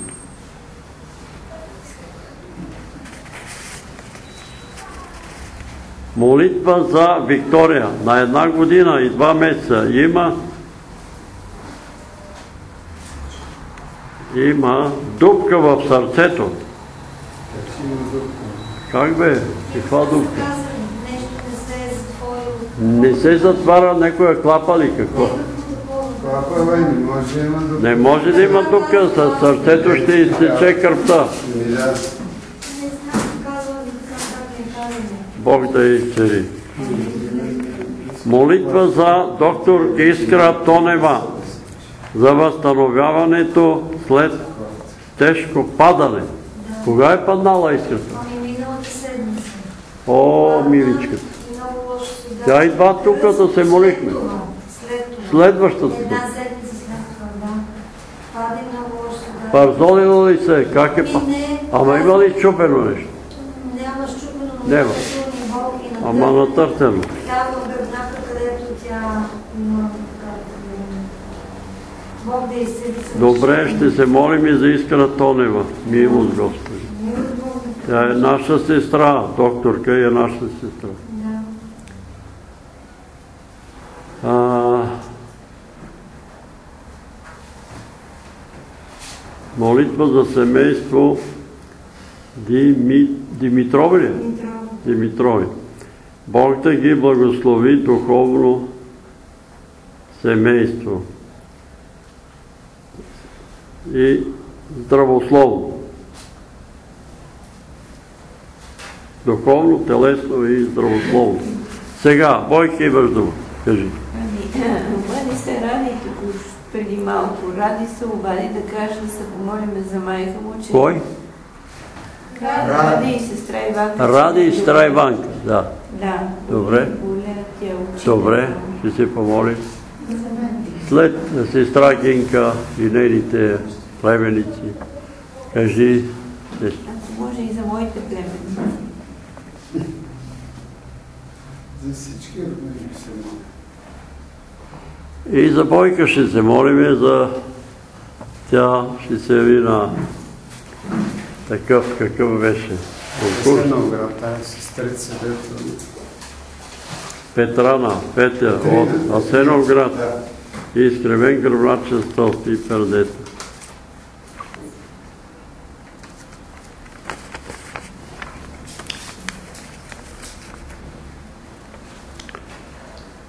Молитва за внука ми Давид на 22 години. На 27 март излиза от вкъщи и се да се разходи и отозява, няма следа от него. Той е от християнско семейство. Баба му Калина, християнка, посветена християнка. Милост за Давид. Ако има други, казвайте. Имате думата, ако някой иска да свидетелства, да прослави Бога и да предложи, разбирате. Аз се правих изследвания Къде са тази? добре сами, слава на Бога, не ходих на кардиолог, на ортопед, само кръв, кръвната картина за закръвта, където вие, благодаря на Бога. Нали, за хубавите резултати. Добре, слава на Бога. Се молим само за. За... И се молим за тия души и за тия, които ги няма между нас, които се сетите и вие, молете се и да се стягаме повече, да Да. се държиме за Библията, Да. Молете се. Господи, освободи ни от мързела, защото има залагалки по телевизията, по интернет, какви ли не е глупости. И ние забравяме Божието Слово. А сега, между другото, е пости, нали, това са богородични пости, който може да пости, не е толкова трудно да се въздържаме от местна храна и от животинска храна, като да, да наял и неговите приятели. И те станаха по-умни, по-мъдри, по-красиви. Няма да ослабнеме, По-младолики. нали? Пък и да ослабнем не е толкова страшно. И да ослабнем А, не е да толкова ослабваме е страшно. страшно. То има работа. Ако гледате тия освиенци, хората, които са били по тия лагери, нали, от време на време дават някой до 95 години, Да. он е на 100 години вече, бил е там на глад в концлагера, па и издържал. Така че глада няма да ни умори. Искаш да ни прочетеш нещо? Ами да споменаме брата Мак- Макавей на, на 1 август. А, на 1 август, защото евангелските църкви не споменават тия брати Макавеи. Не споменават за тия мъчения, които са претърпяли. Еврейския народ са били избити толкова много народ. Убивали са децата за това, че са ги обрезвали. Ако научат, че някой дете е обрезвано, промушват го с стрелата или с меч и го убиват. Колко е важно било това. А сега днешните пастири проповядат децата, нужда да се кръщават, те не разбират. Много добре разбират. Много добре децата разбират. Аз ви казах в събота за Катя. Катето на 6 години, когато каза, виждаме едно момиченце, Ритка, Ритка.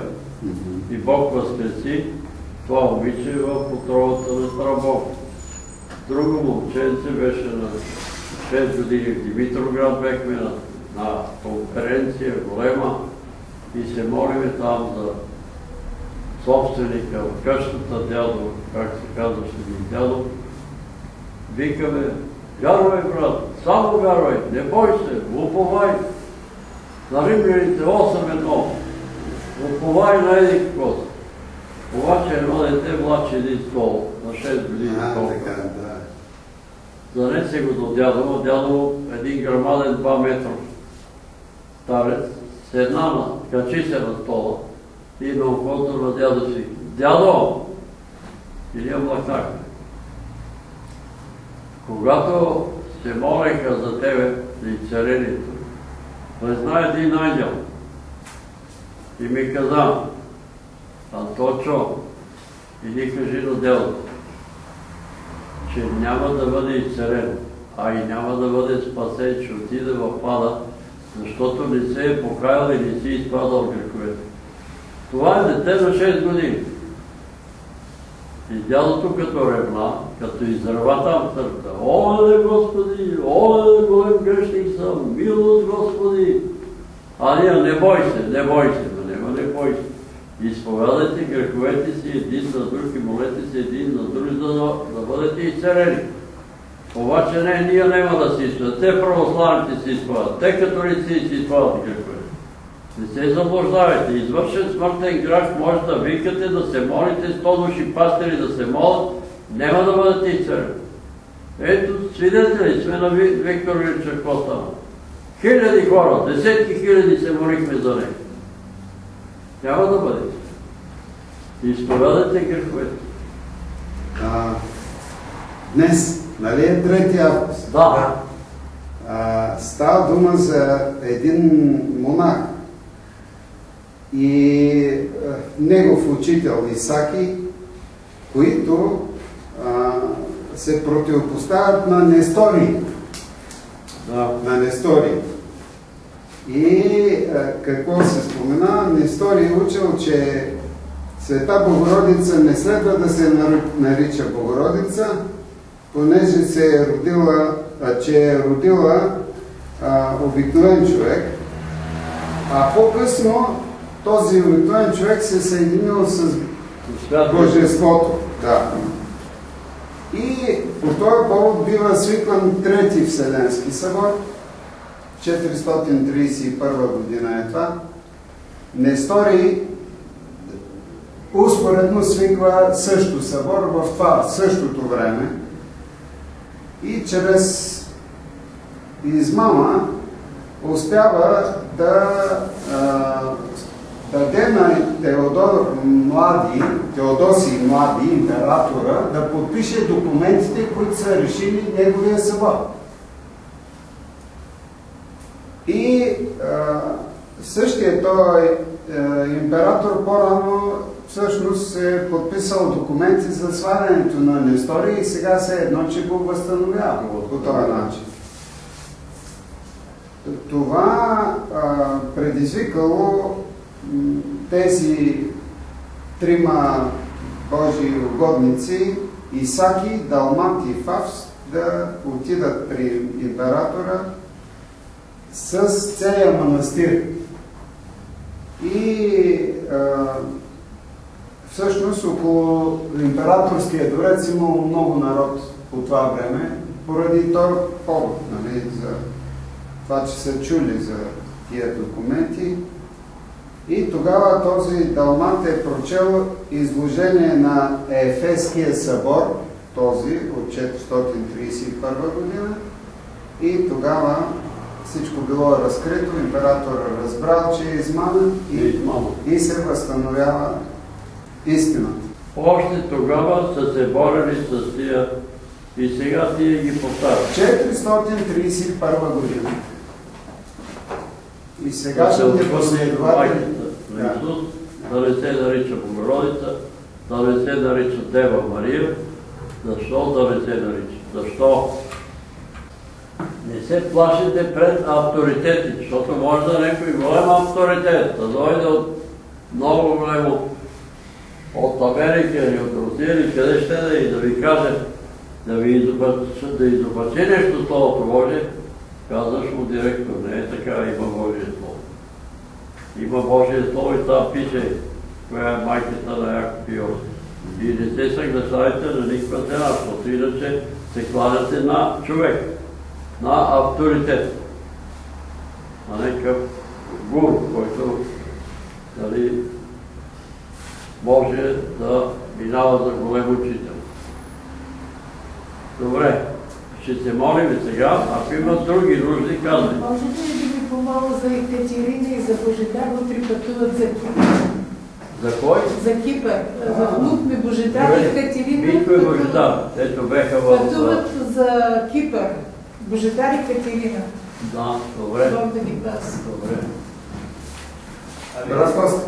Искам да предложа на Света майка и, че има проблеми, сега сме дошли за това да Какво е? се. Какъв проблем? Тя Не, не може да реши къде да живее. Това е един от проблема. Тя сега едно, че и сама, другото е не може да реши къде да живее. Бог да даде, не знам, да даде откровение или по някакъв начин да откри.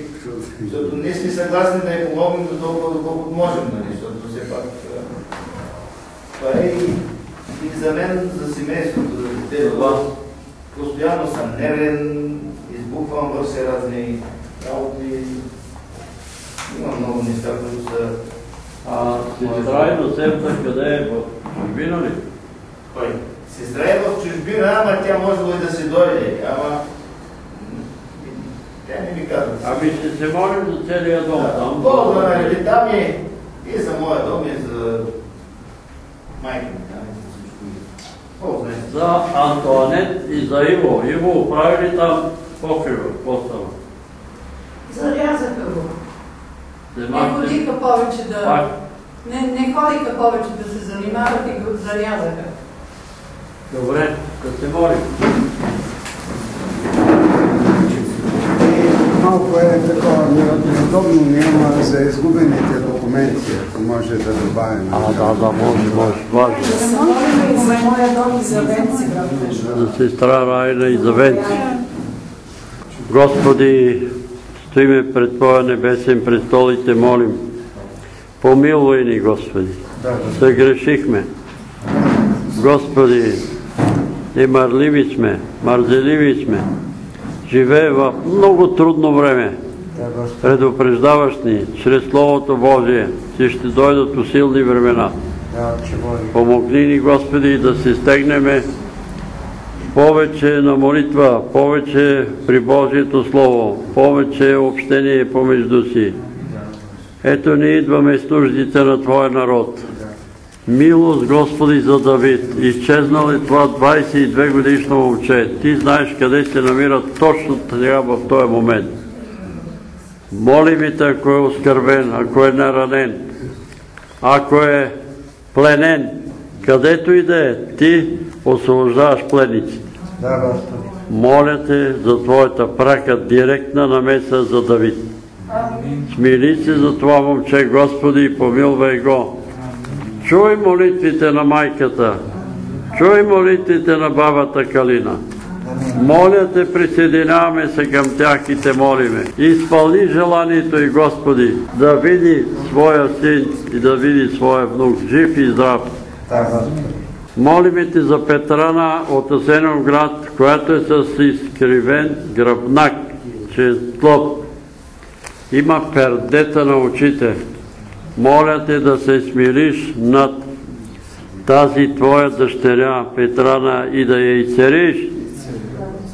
Господи, аз съм свидетел на такъв гръбначен стълб, на страх Ксения, ошипен, артрит на двете равени стави, как за една нощ изпука всичко и се подреди, и шипове, и артрит, всичко изчезна.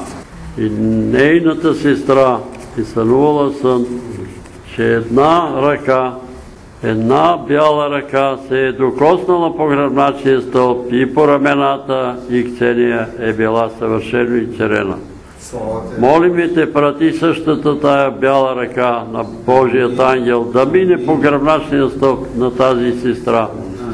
Да мине по гръбначния стълб и да изцери, да докосне очите й и пердетата да се разкъсат и да изчезнат. Молим те за семейство Димитрови. Господи, благослови ги, помилвай ги, духовно, материално. Благослови ги, Господи, с всякакви духовни и материални благословения на това семейство. Молиме Те, Господи, за доктор Искра Тонева. Паднала и се е наранила. Може би не знаеме как. Но Ти знаеш, Господи, каквото Искра Ти е съгрешила от малко момиченце до днес. Молиме Ти всичко да покриеш с Твоята кръв. Ако има наследствена обремененост от майки, от баща и от баби, от деди, смили се над нея, Господи. И тя е в тежко състояние с тия коронавируси. Лекарите са претоварени сега. Моля те да я пазиш, да я бронираш срещу силите на тъмнината. Моля те да я изцелиш съвършенно. Господи, тя е свидетелка на онзи професор, на който гръбначният стълб беше като на риба и жена му казва, никога няма да стане. Но след 15 дни тя ми се обади по телефона и казва, професора е станал и се разхожда. Тя е видяла такива изцерения и церия и сега и нея. Молиме те за това детенце на една година и два месеца. Има проблеми с сърцето. Не знаеме каква е проблема. Но молиме те да я изцериш. Господи, ако е необходимо това дете да бъде кръстено. Такива проблеми имаше и Самуил, сина на брат Томи. Имаше порок на сърцето. Имаше хидроцефалия. Имаше аномалия в храносмилателната система. И когато го занесоха и го кръстиха в православната църква, Господ махна всичко и сега Самуил е мъж, жив и здрав. Но има малки някакви проблеми в глезените на краката, молиме Ти да го изцериш. Господи, благодариме Ти, че си изцерил Калинка от коронавирус. Благодариме Ти за майка и за славяна дъщеря и сили им давай да ги видим отново между нас. Моля Те и цари Калинка и цари краката и, и цари бъбреците и цари панкреаса, захарта да дойде в нормите. Невъзможното за човеците е възможно за Тебе.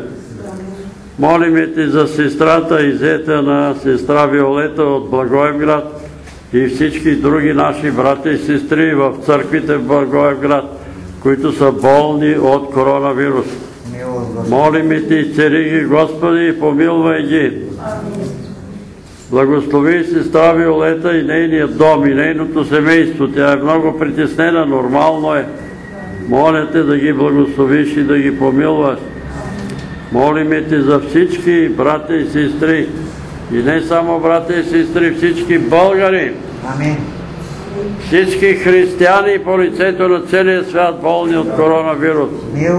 Покажи милост към тях и не допускай да си отидат от този мор. Милост за сестра Желязка от Варна. Има силни болки в краката от колената надолу. Не знаеме причината. Молиме те за Твоята прака намеса, души святи в името на Исус. Смири се на дъщера и Поли и децата й. Нейният мъж ги е зарязал и заминал за Испания и повече не се обажда. Жив ли е? Не е ли жив? Не знаеме какво става с тая наша сестра и нейните дечица. Помилвай ги. Милост за брат Мирослав. Придай му вяра. Освободи го от колебанията. Освободи го от мъдруванията. Здраво да се хвани за Тебе. И цери го, Господи. Махни тая кокса артроза по краката му и болките, която лукаво внушава, че това са ракови образования. Моля те, махни тия болки. Милост за Петя и за Северина от Пазарджик. Смили си за тази жена и цария Господи. Вразуми ги и тия лекари. Не знаем и защо. Не иска да я оперират. Моля ти за брат Димчо и цари го съвършено, премахни всяка атака на лукавия. Нормализирай температурата на тялото му. Моля те и цари него и съпругата му Гергана. Благослови майка му Ваня, баща му Димитър, брат му Красимир, който е в Австрия, там където е пази го от лоши приятели. Благослови сестра Красимир от Левски Г. Опази я, Господи, тя много настоява да чуе, да види това свидетелство, което го прочетах преди няколко седмици,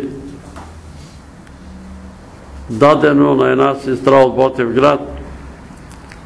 Молиме те, Господи, ако е волята ти да се намери това свидетелство, ако не е волята ти да чете откровението, там за истинските пророчества. Молиме ти за брат Пепи и майка му Магдалена. Милост, Господи, пази я да е жива и здрава, да може да се грижи за сина си. Молиме те, Твоя дом да бъде отворен. Господи, за хора, които искат да помогнат. Моля те за Таня и синовете и Стоян и Даниел. Ето Даниел беше изкарал, може би, няколко, една или две седмици без алкохол. Сили му дай да отвърля алкохола и да бъде съвършено освободен от този порок. Милост за Даниел от Варненско, който има проблем, Господи, с тая порнография. За нас ни е лесно да кажем, махни тия буклуци, не ги гледай. Но дай му сили да не се хваща там за компютъра и да не гледа тия гносоти. Сили му дай, Господи. Изобличи, развали му компютъра, развали му телевизора. Моля те също и за Гергин и цари гръбначе му стоп. Молиме те за сестра Цветанка и Николай, и цари Цветанка, и цари ставите и костите, и освободи от болките. Милост за Розалия и за Кристина Обладана. Милост, Господи, за малката бойка, промисли за нея, за бъдещето и ето тя кара някакви курсове за касиерка, да издържи тия курсове, да я назначат на работа, да си изкарва прехраната с труд, но и цари бъбреците и цари тялото й. Молим те и за голямата бойка, която е в Рухов си, благослови я, пази я от маджостици, от зложелатели.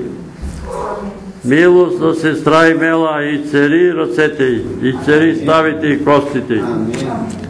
Молиме ти за Мадлена, майката на Никола, който е болен от детска церебрална пареза. Смири се на това детенце, Господи. Покажи милост. Невъзможното за човеците е възможно за Тебе. Той е демон на церебрална пареза. Свържи го, измахни го от тялото му и го прати в бездната. Благослови баща му Николай, благослови сестра му Деси.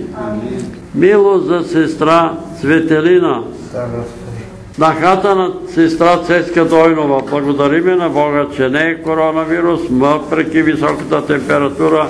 Благодариме ти, тя ще бъде изцерена, но ние те молиме да ти помогнеш да се смири, да се покорява на мъжа си и да промисли защо се случва всичко това с нея. Милост, Господи, за тия две наши сестрички, които са незрящи, Мариана и Теодора. Укрепи здравето и силите им. Ето тя, Мариана, казва, как ми се иска да литна и да дойда на вашите събрания. Благослови Теодора, благослови баща и майка й, благослови бабата на Мариана, укрепи здравето им и привличай ги към себе си. Милост, Господи, за сестра Милена, която са изложили пани Катака от Казанлак. Не знаеме каква е тая пани Катака, дали при нея няма отравяния. Благослови сестра Цветелина и Валентина. Майката на Цветелина Валентина не може да ходи, колената и краката и ставите и костите и церия. Сестра Цветелина ще пътува при Милена, която е от паника така, такава диагноза, опазия, защития, пазия, да изпълни волята ти, да изнесе мирния договор, да направи отричане Милена по мирния договор, но да бъде от сърце, за да има резултат. Милост за сестра Боримира и Ценка.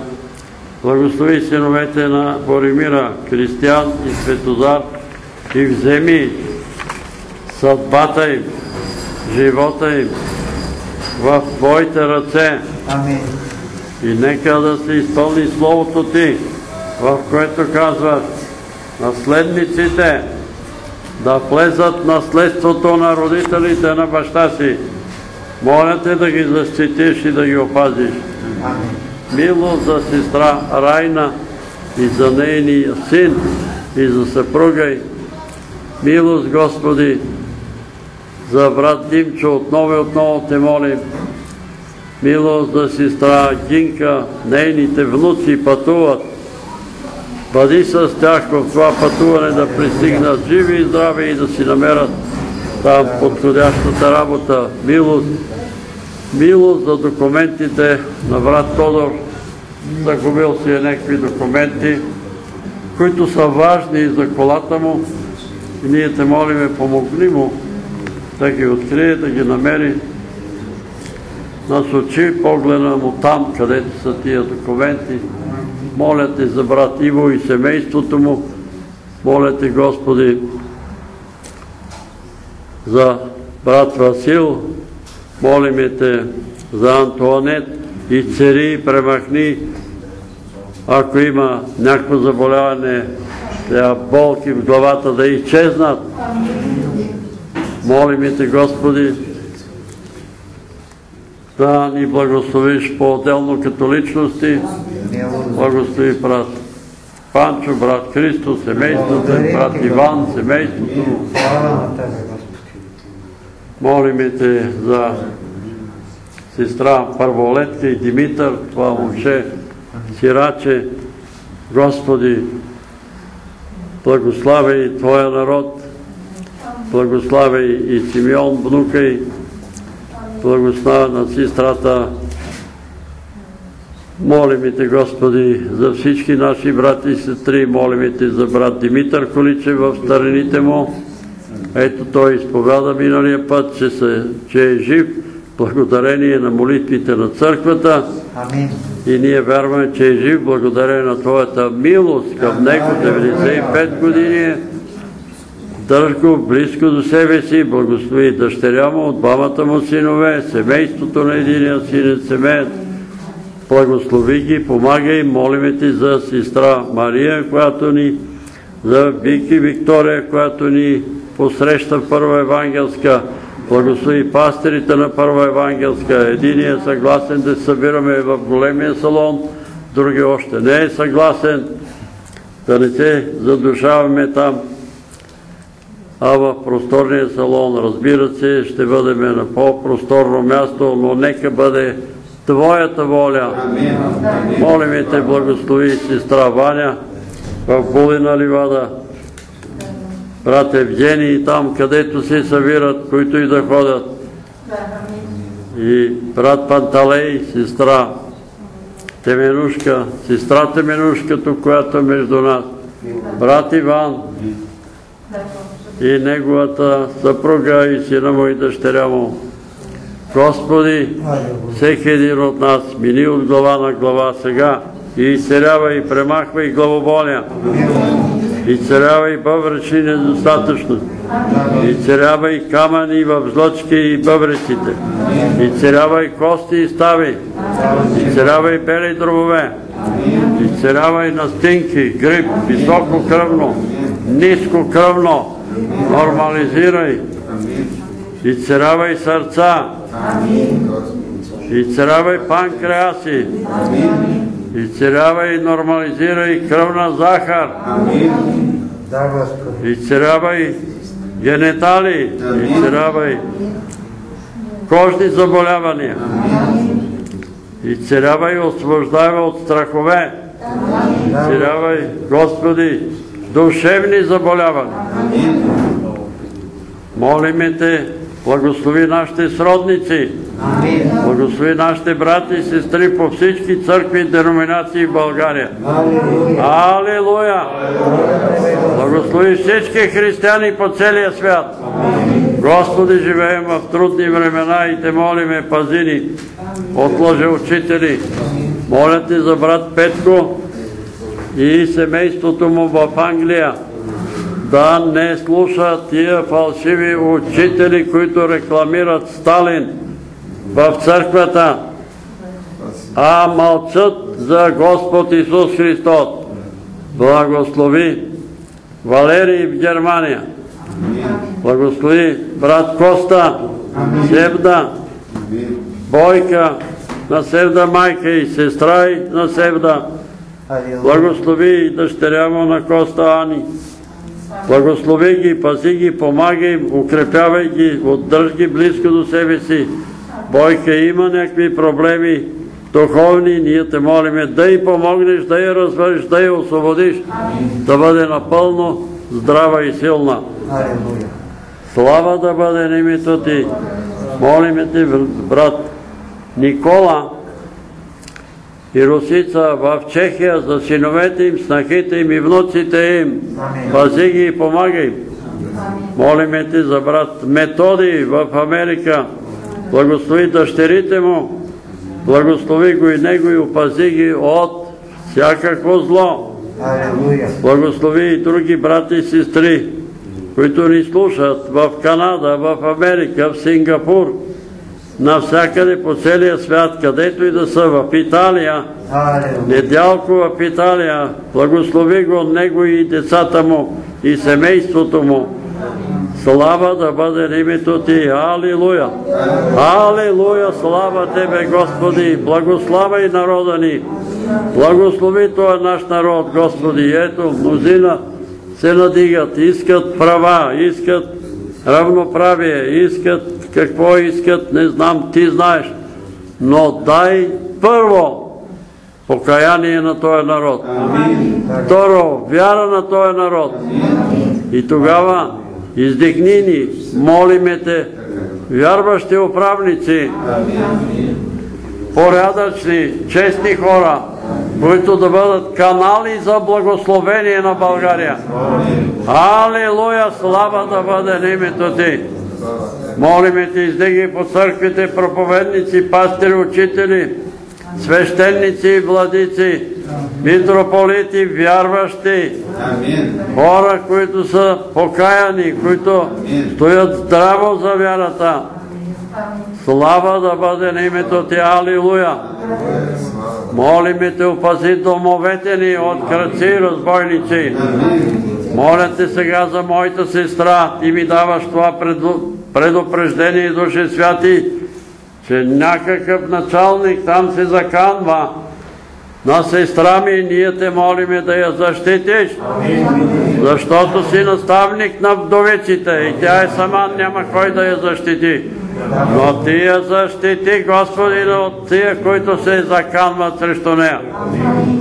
Милост, Господи, за народа ни, милост, Господи, за България. Опази България от природни бедствия, от катастрофални земетресения, наводнения, градушки. Опази страната ни, Господи, помилвай ни. Милост за този народ, Господи. Смили се за този народ. Слава да бъде на името Ти. И сега всички заедно ти ще те помолиме с молитвата, с която Твоя син ни е научил, Отче, святи и праведни, да се молим и като се молиме да казваме Отче наш, който си на небесата, да се святи Твоето име, да дойде Твоето царство, да бъде Твоята воля, както на небето, така и на земята.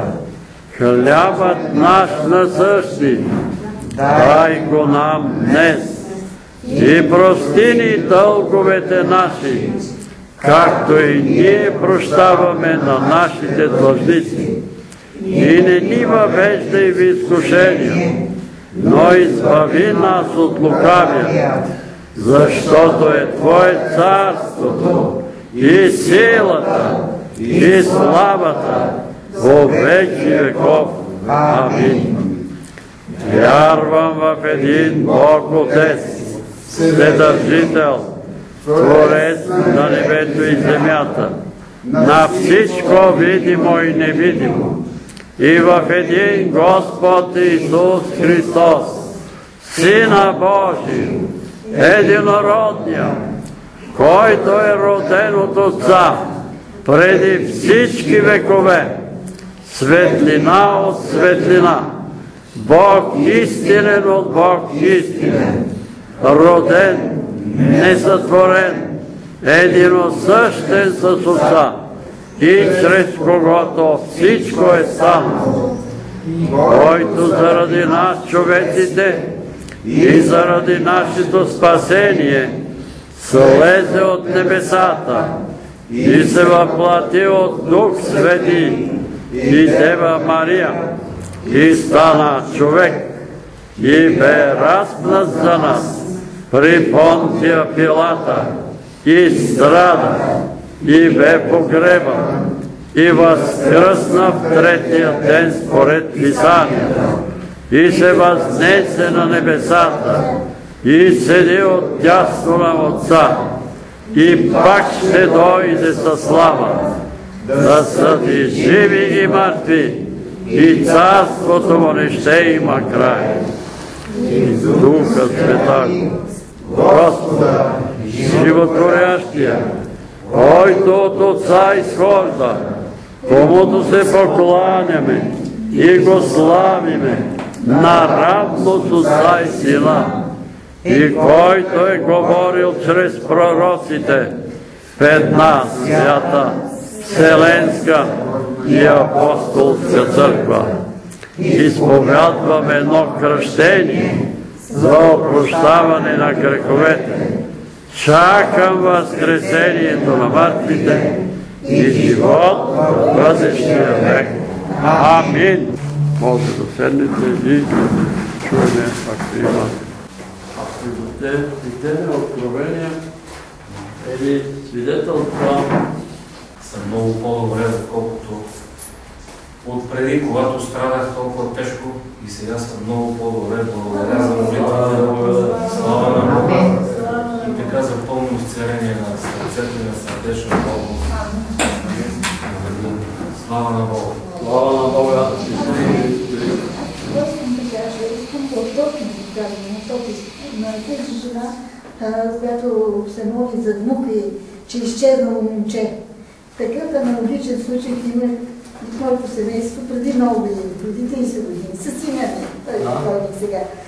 Тогава ме научиха да отида в православната църква и да се помоля на свети Мина. Мина, аз съм Казвам на жената, нека да отидете с майката, да се помолите от душа и сърце. Ако иска, може някакъв дар да оставите, но бутилка, олио или нещо друго така за нуждите на църквата. Но свети Мина отвори много бързо. С моя син се беше случило подобно, той е покойник, но си го помня това.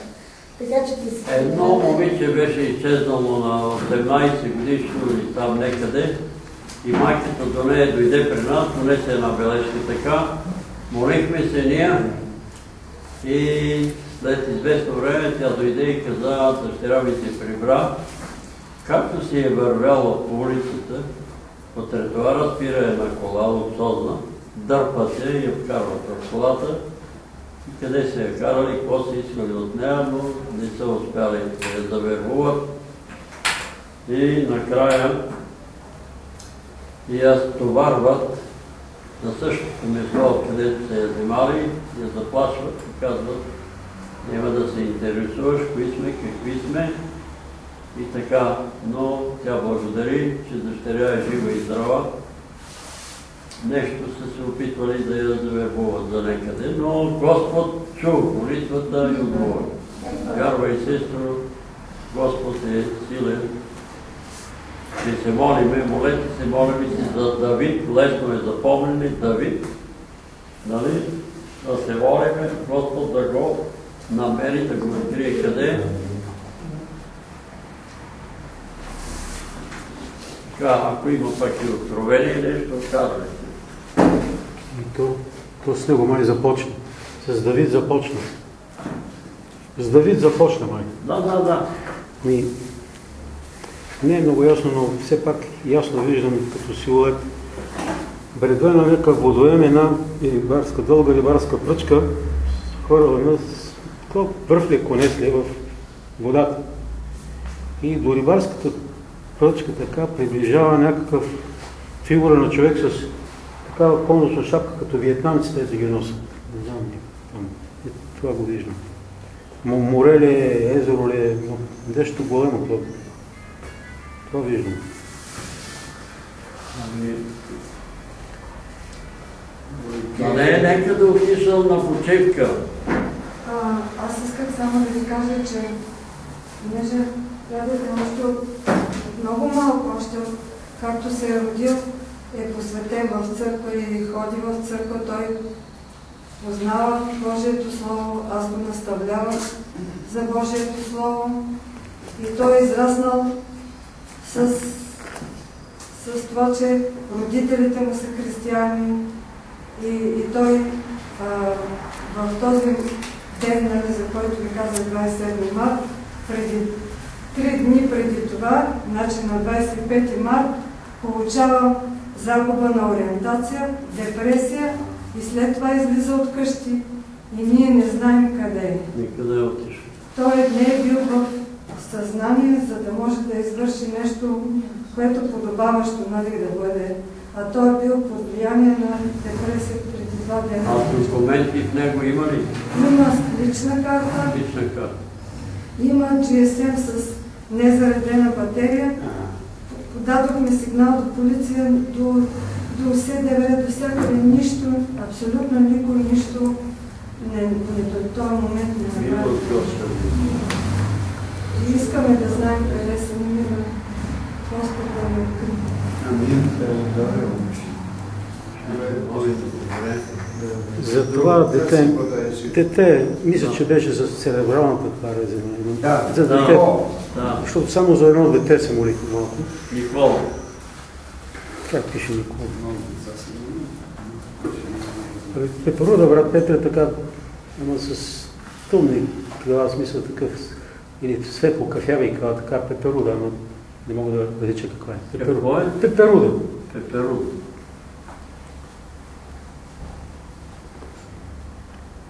Не знам. Знали ли какво символизира пеперуда? Тие, дето правят гасеници, така е пеперуда.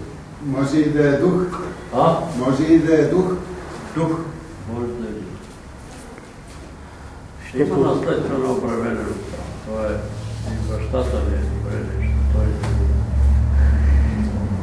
А, Между другото, това момче, баба му е еврейка. Еврейка. Дай Боже Господ да ти смири до това, на Никола. Амин. а, Иова Рафа, Иова Рафа, а, дали означава аз съм Господ, който ви изцелявам? Това ли значи? Ясно е. Това чувам за сестра Калинка.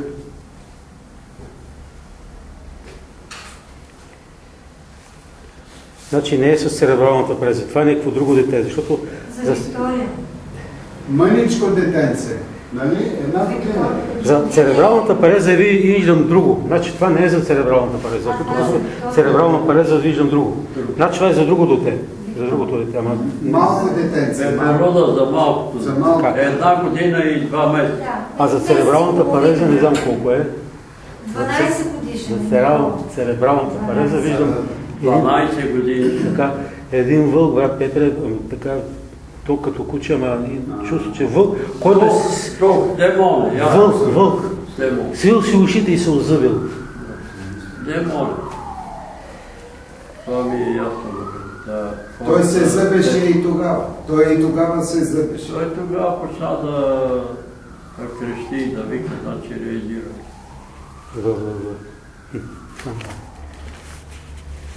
Верващи управниците, почна да ги изброя с какви управници искаме и аз така просто така ми като отношение, които продължение на това, което те да имат само страх от Бога и милост към сиромасите. Защото И те, ако имат страх от Бога, ще имат и милост, ама ако няма страх от Бога, защото Ако тръгнат да се покаят, е, така всичко подаде. от до некъде ние си ги избираме. Е. Ние не ги познаваме. Предлага се някои това големи обещания, отиваме, гласуваме после викаме, тия са много лоши. Нали, ние си ги избрахме. Ние сме си ги избрали. и след като Господ чуе по милост молитвата ни, тогава ще има и вероучение и всичко. Тогава, да, тогава ще дойдат. И за страната ти споша да се молиш да така Господи пази от това, това. И аз чувам благородете, благодарете за благословенията по дървета, растения. В тази година дърветата, не знам там и при тебе как е, но при нас сливите са много родили, горе ми дюрите са родили. А сливите са родили, обаче аз седам там на пейката, викам. Абе хора, много са народили джанките, сигурно сега викам, ще варите тук рехи и ще има много пияници. И те викат, нема вика да вариме, защото дойде наводнение и двата казана, наводнението ги отглежда. И ги пати, вика към на Коцево надолу. И не можаха да ги намерят. Некой ги е вземал за мед там, и те са медни. И викаме, е, това е благословение за селото. Защото Иначе много джанки са се на... и череши имаше, ама аз само ги гледах, защото докато се усета, докато намеря да се събера сила да се качите по високото беха, те свършиха, обаче благодаря на Бога, че пък вишни имаше, вишни малко си набрах. И Много хубаво сладко става от джанки, от вишни, Да. сладко. Така нашите баби правеха от вишни, от джанки, от всичко правеха сладко. И от домати също са правили Да, зелени домати. Всичко става. А сега така, на рекия ги варят там и ги правят на нищо. така че благодаря на След това на времето аз си спомням, във всяка къща по село, като се родеха много джанки, нарезали, с едни резачки си имаше, водиш така, нали, тя се... И нарезали такива платища пълно с сушени джанки, имате компост. Или песни? Всичко, което е родило, от сушени плодове. Старите там баби всичко го правиха да се употреби. Сега няма кой така се разсипа и никой не го. Не знам животните дали ги ядат тия чанки. Не знам. Аз а, специално благодаря на Бога, че още преди зимата, края на зимата, продължавам сега, ще ви благословя с тези неща и действително разбрах, че от Бога този глас, като видях и череши, и вишни, и джанки и така нататък, гледам и орехите имат. Благодарим на Бога. Благодариме на това, което се е народило.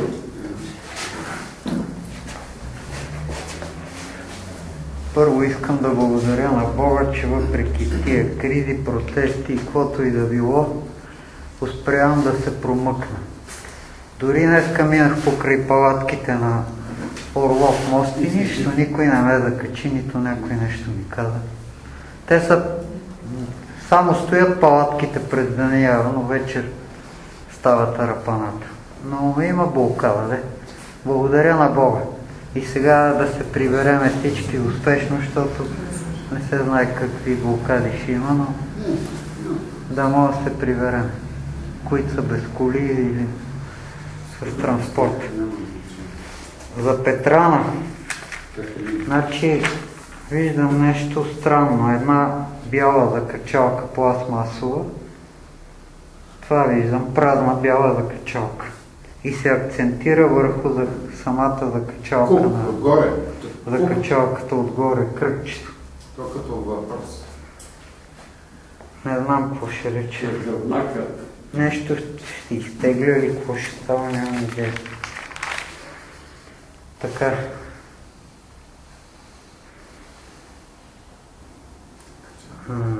За благословение на събранията. А, не, чакай, извинявам се, грешка.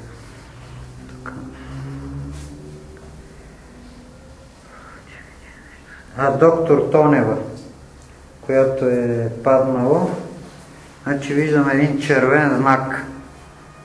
Изцяло червен, не знам дали го има в а, закона за движение по пътищата и, и по средата има бяла удивителна. Какво има по средата? Бяла удивителна. Бяла удивителна. Черна.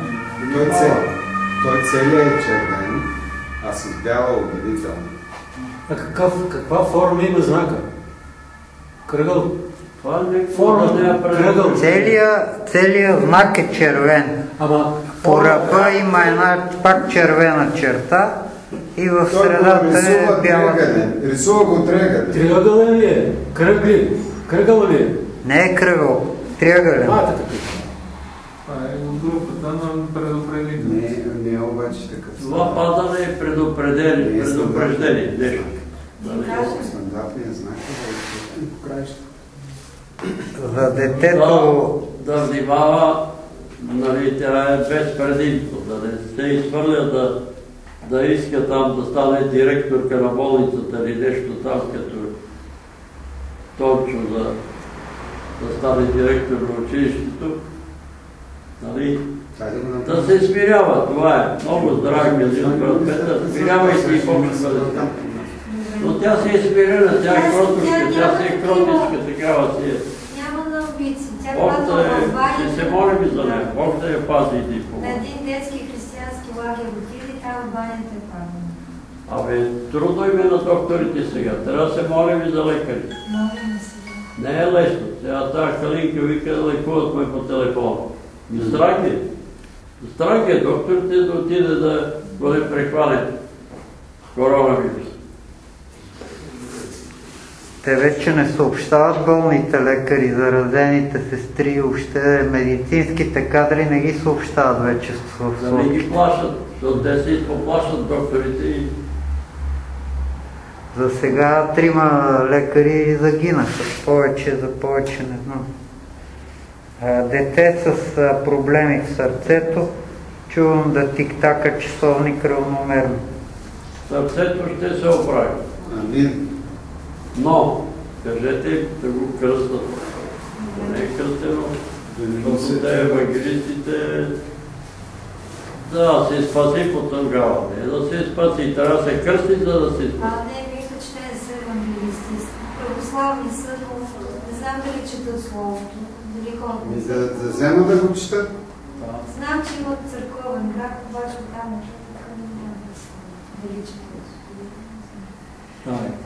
Човек, който е пристрастен към порното, значи експлоадира монитора на компютъра. Какво? Експлоадира монитора на компютъра. Експлоадира, експлоадира. Аз съм, аз съм виждал да излизат духове от мониторите, когато става въпрос за порно. и като ги пуснеш тия, те веднага завладяват тия, които са За незрящите сестри да имат вярата на Вартимей. Амин. Това е Господ сина, сина на. Вартимей, искаш да кажеш. Те са се родили така. Така. Всички сме живи поради Божията милост. Не само някои. Всички. А, за изтерени от различни болести се моли.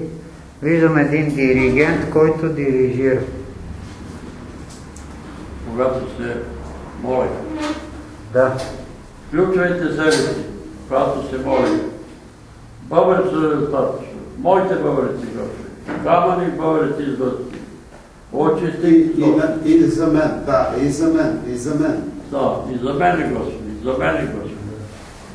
И за тебе. А, и за за стана. И последно, да има молебен за България, а не неясни протести. Амин.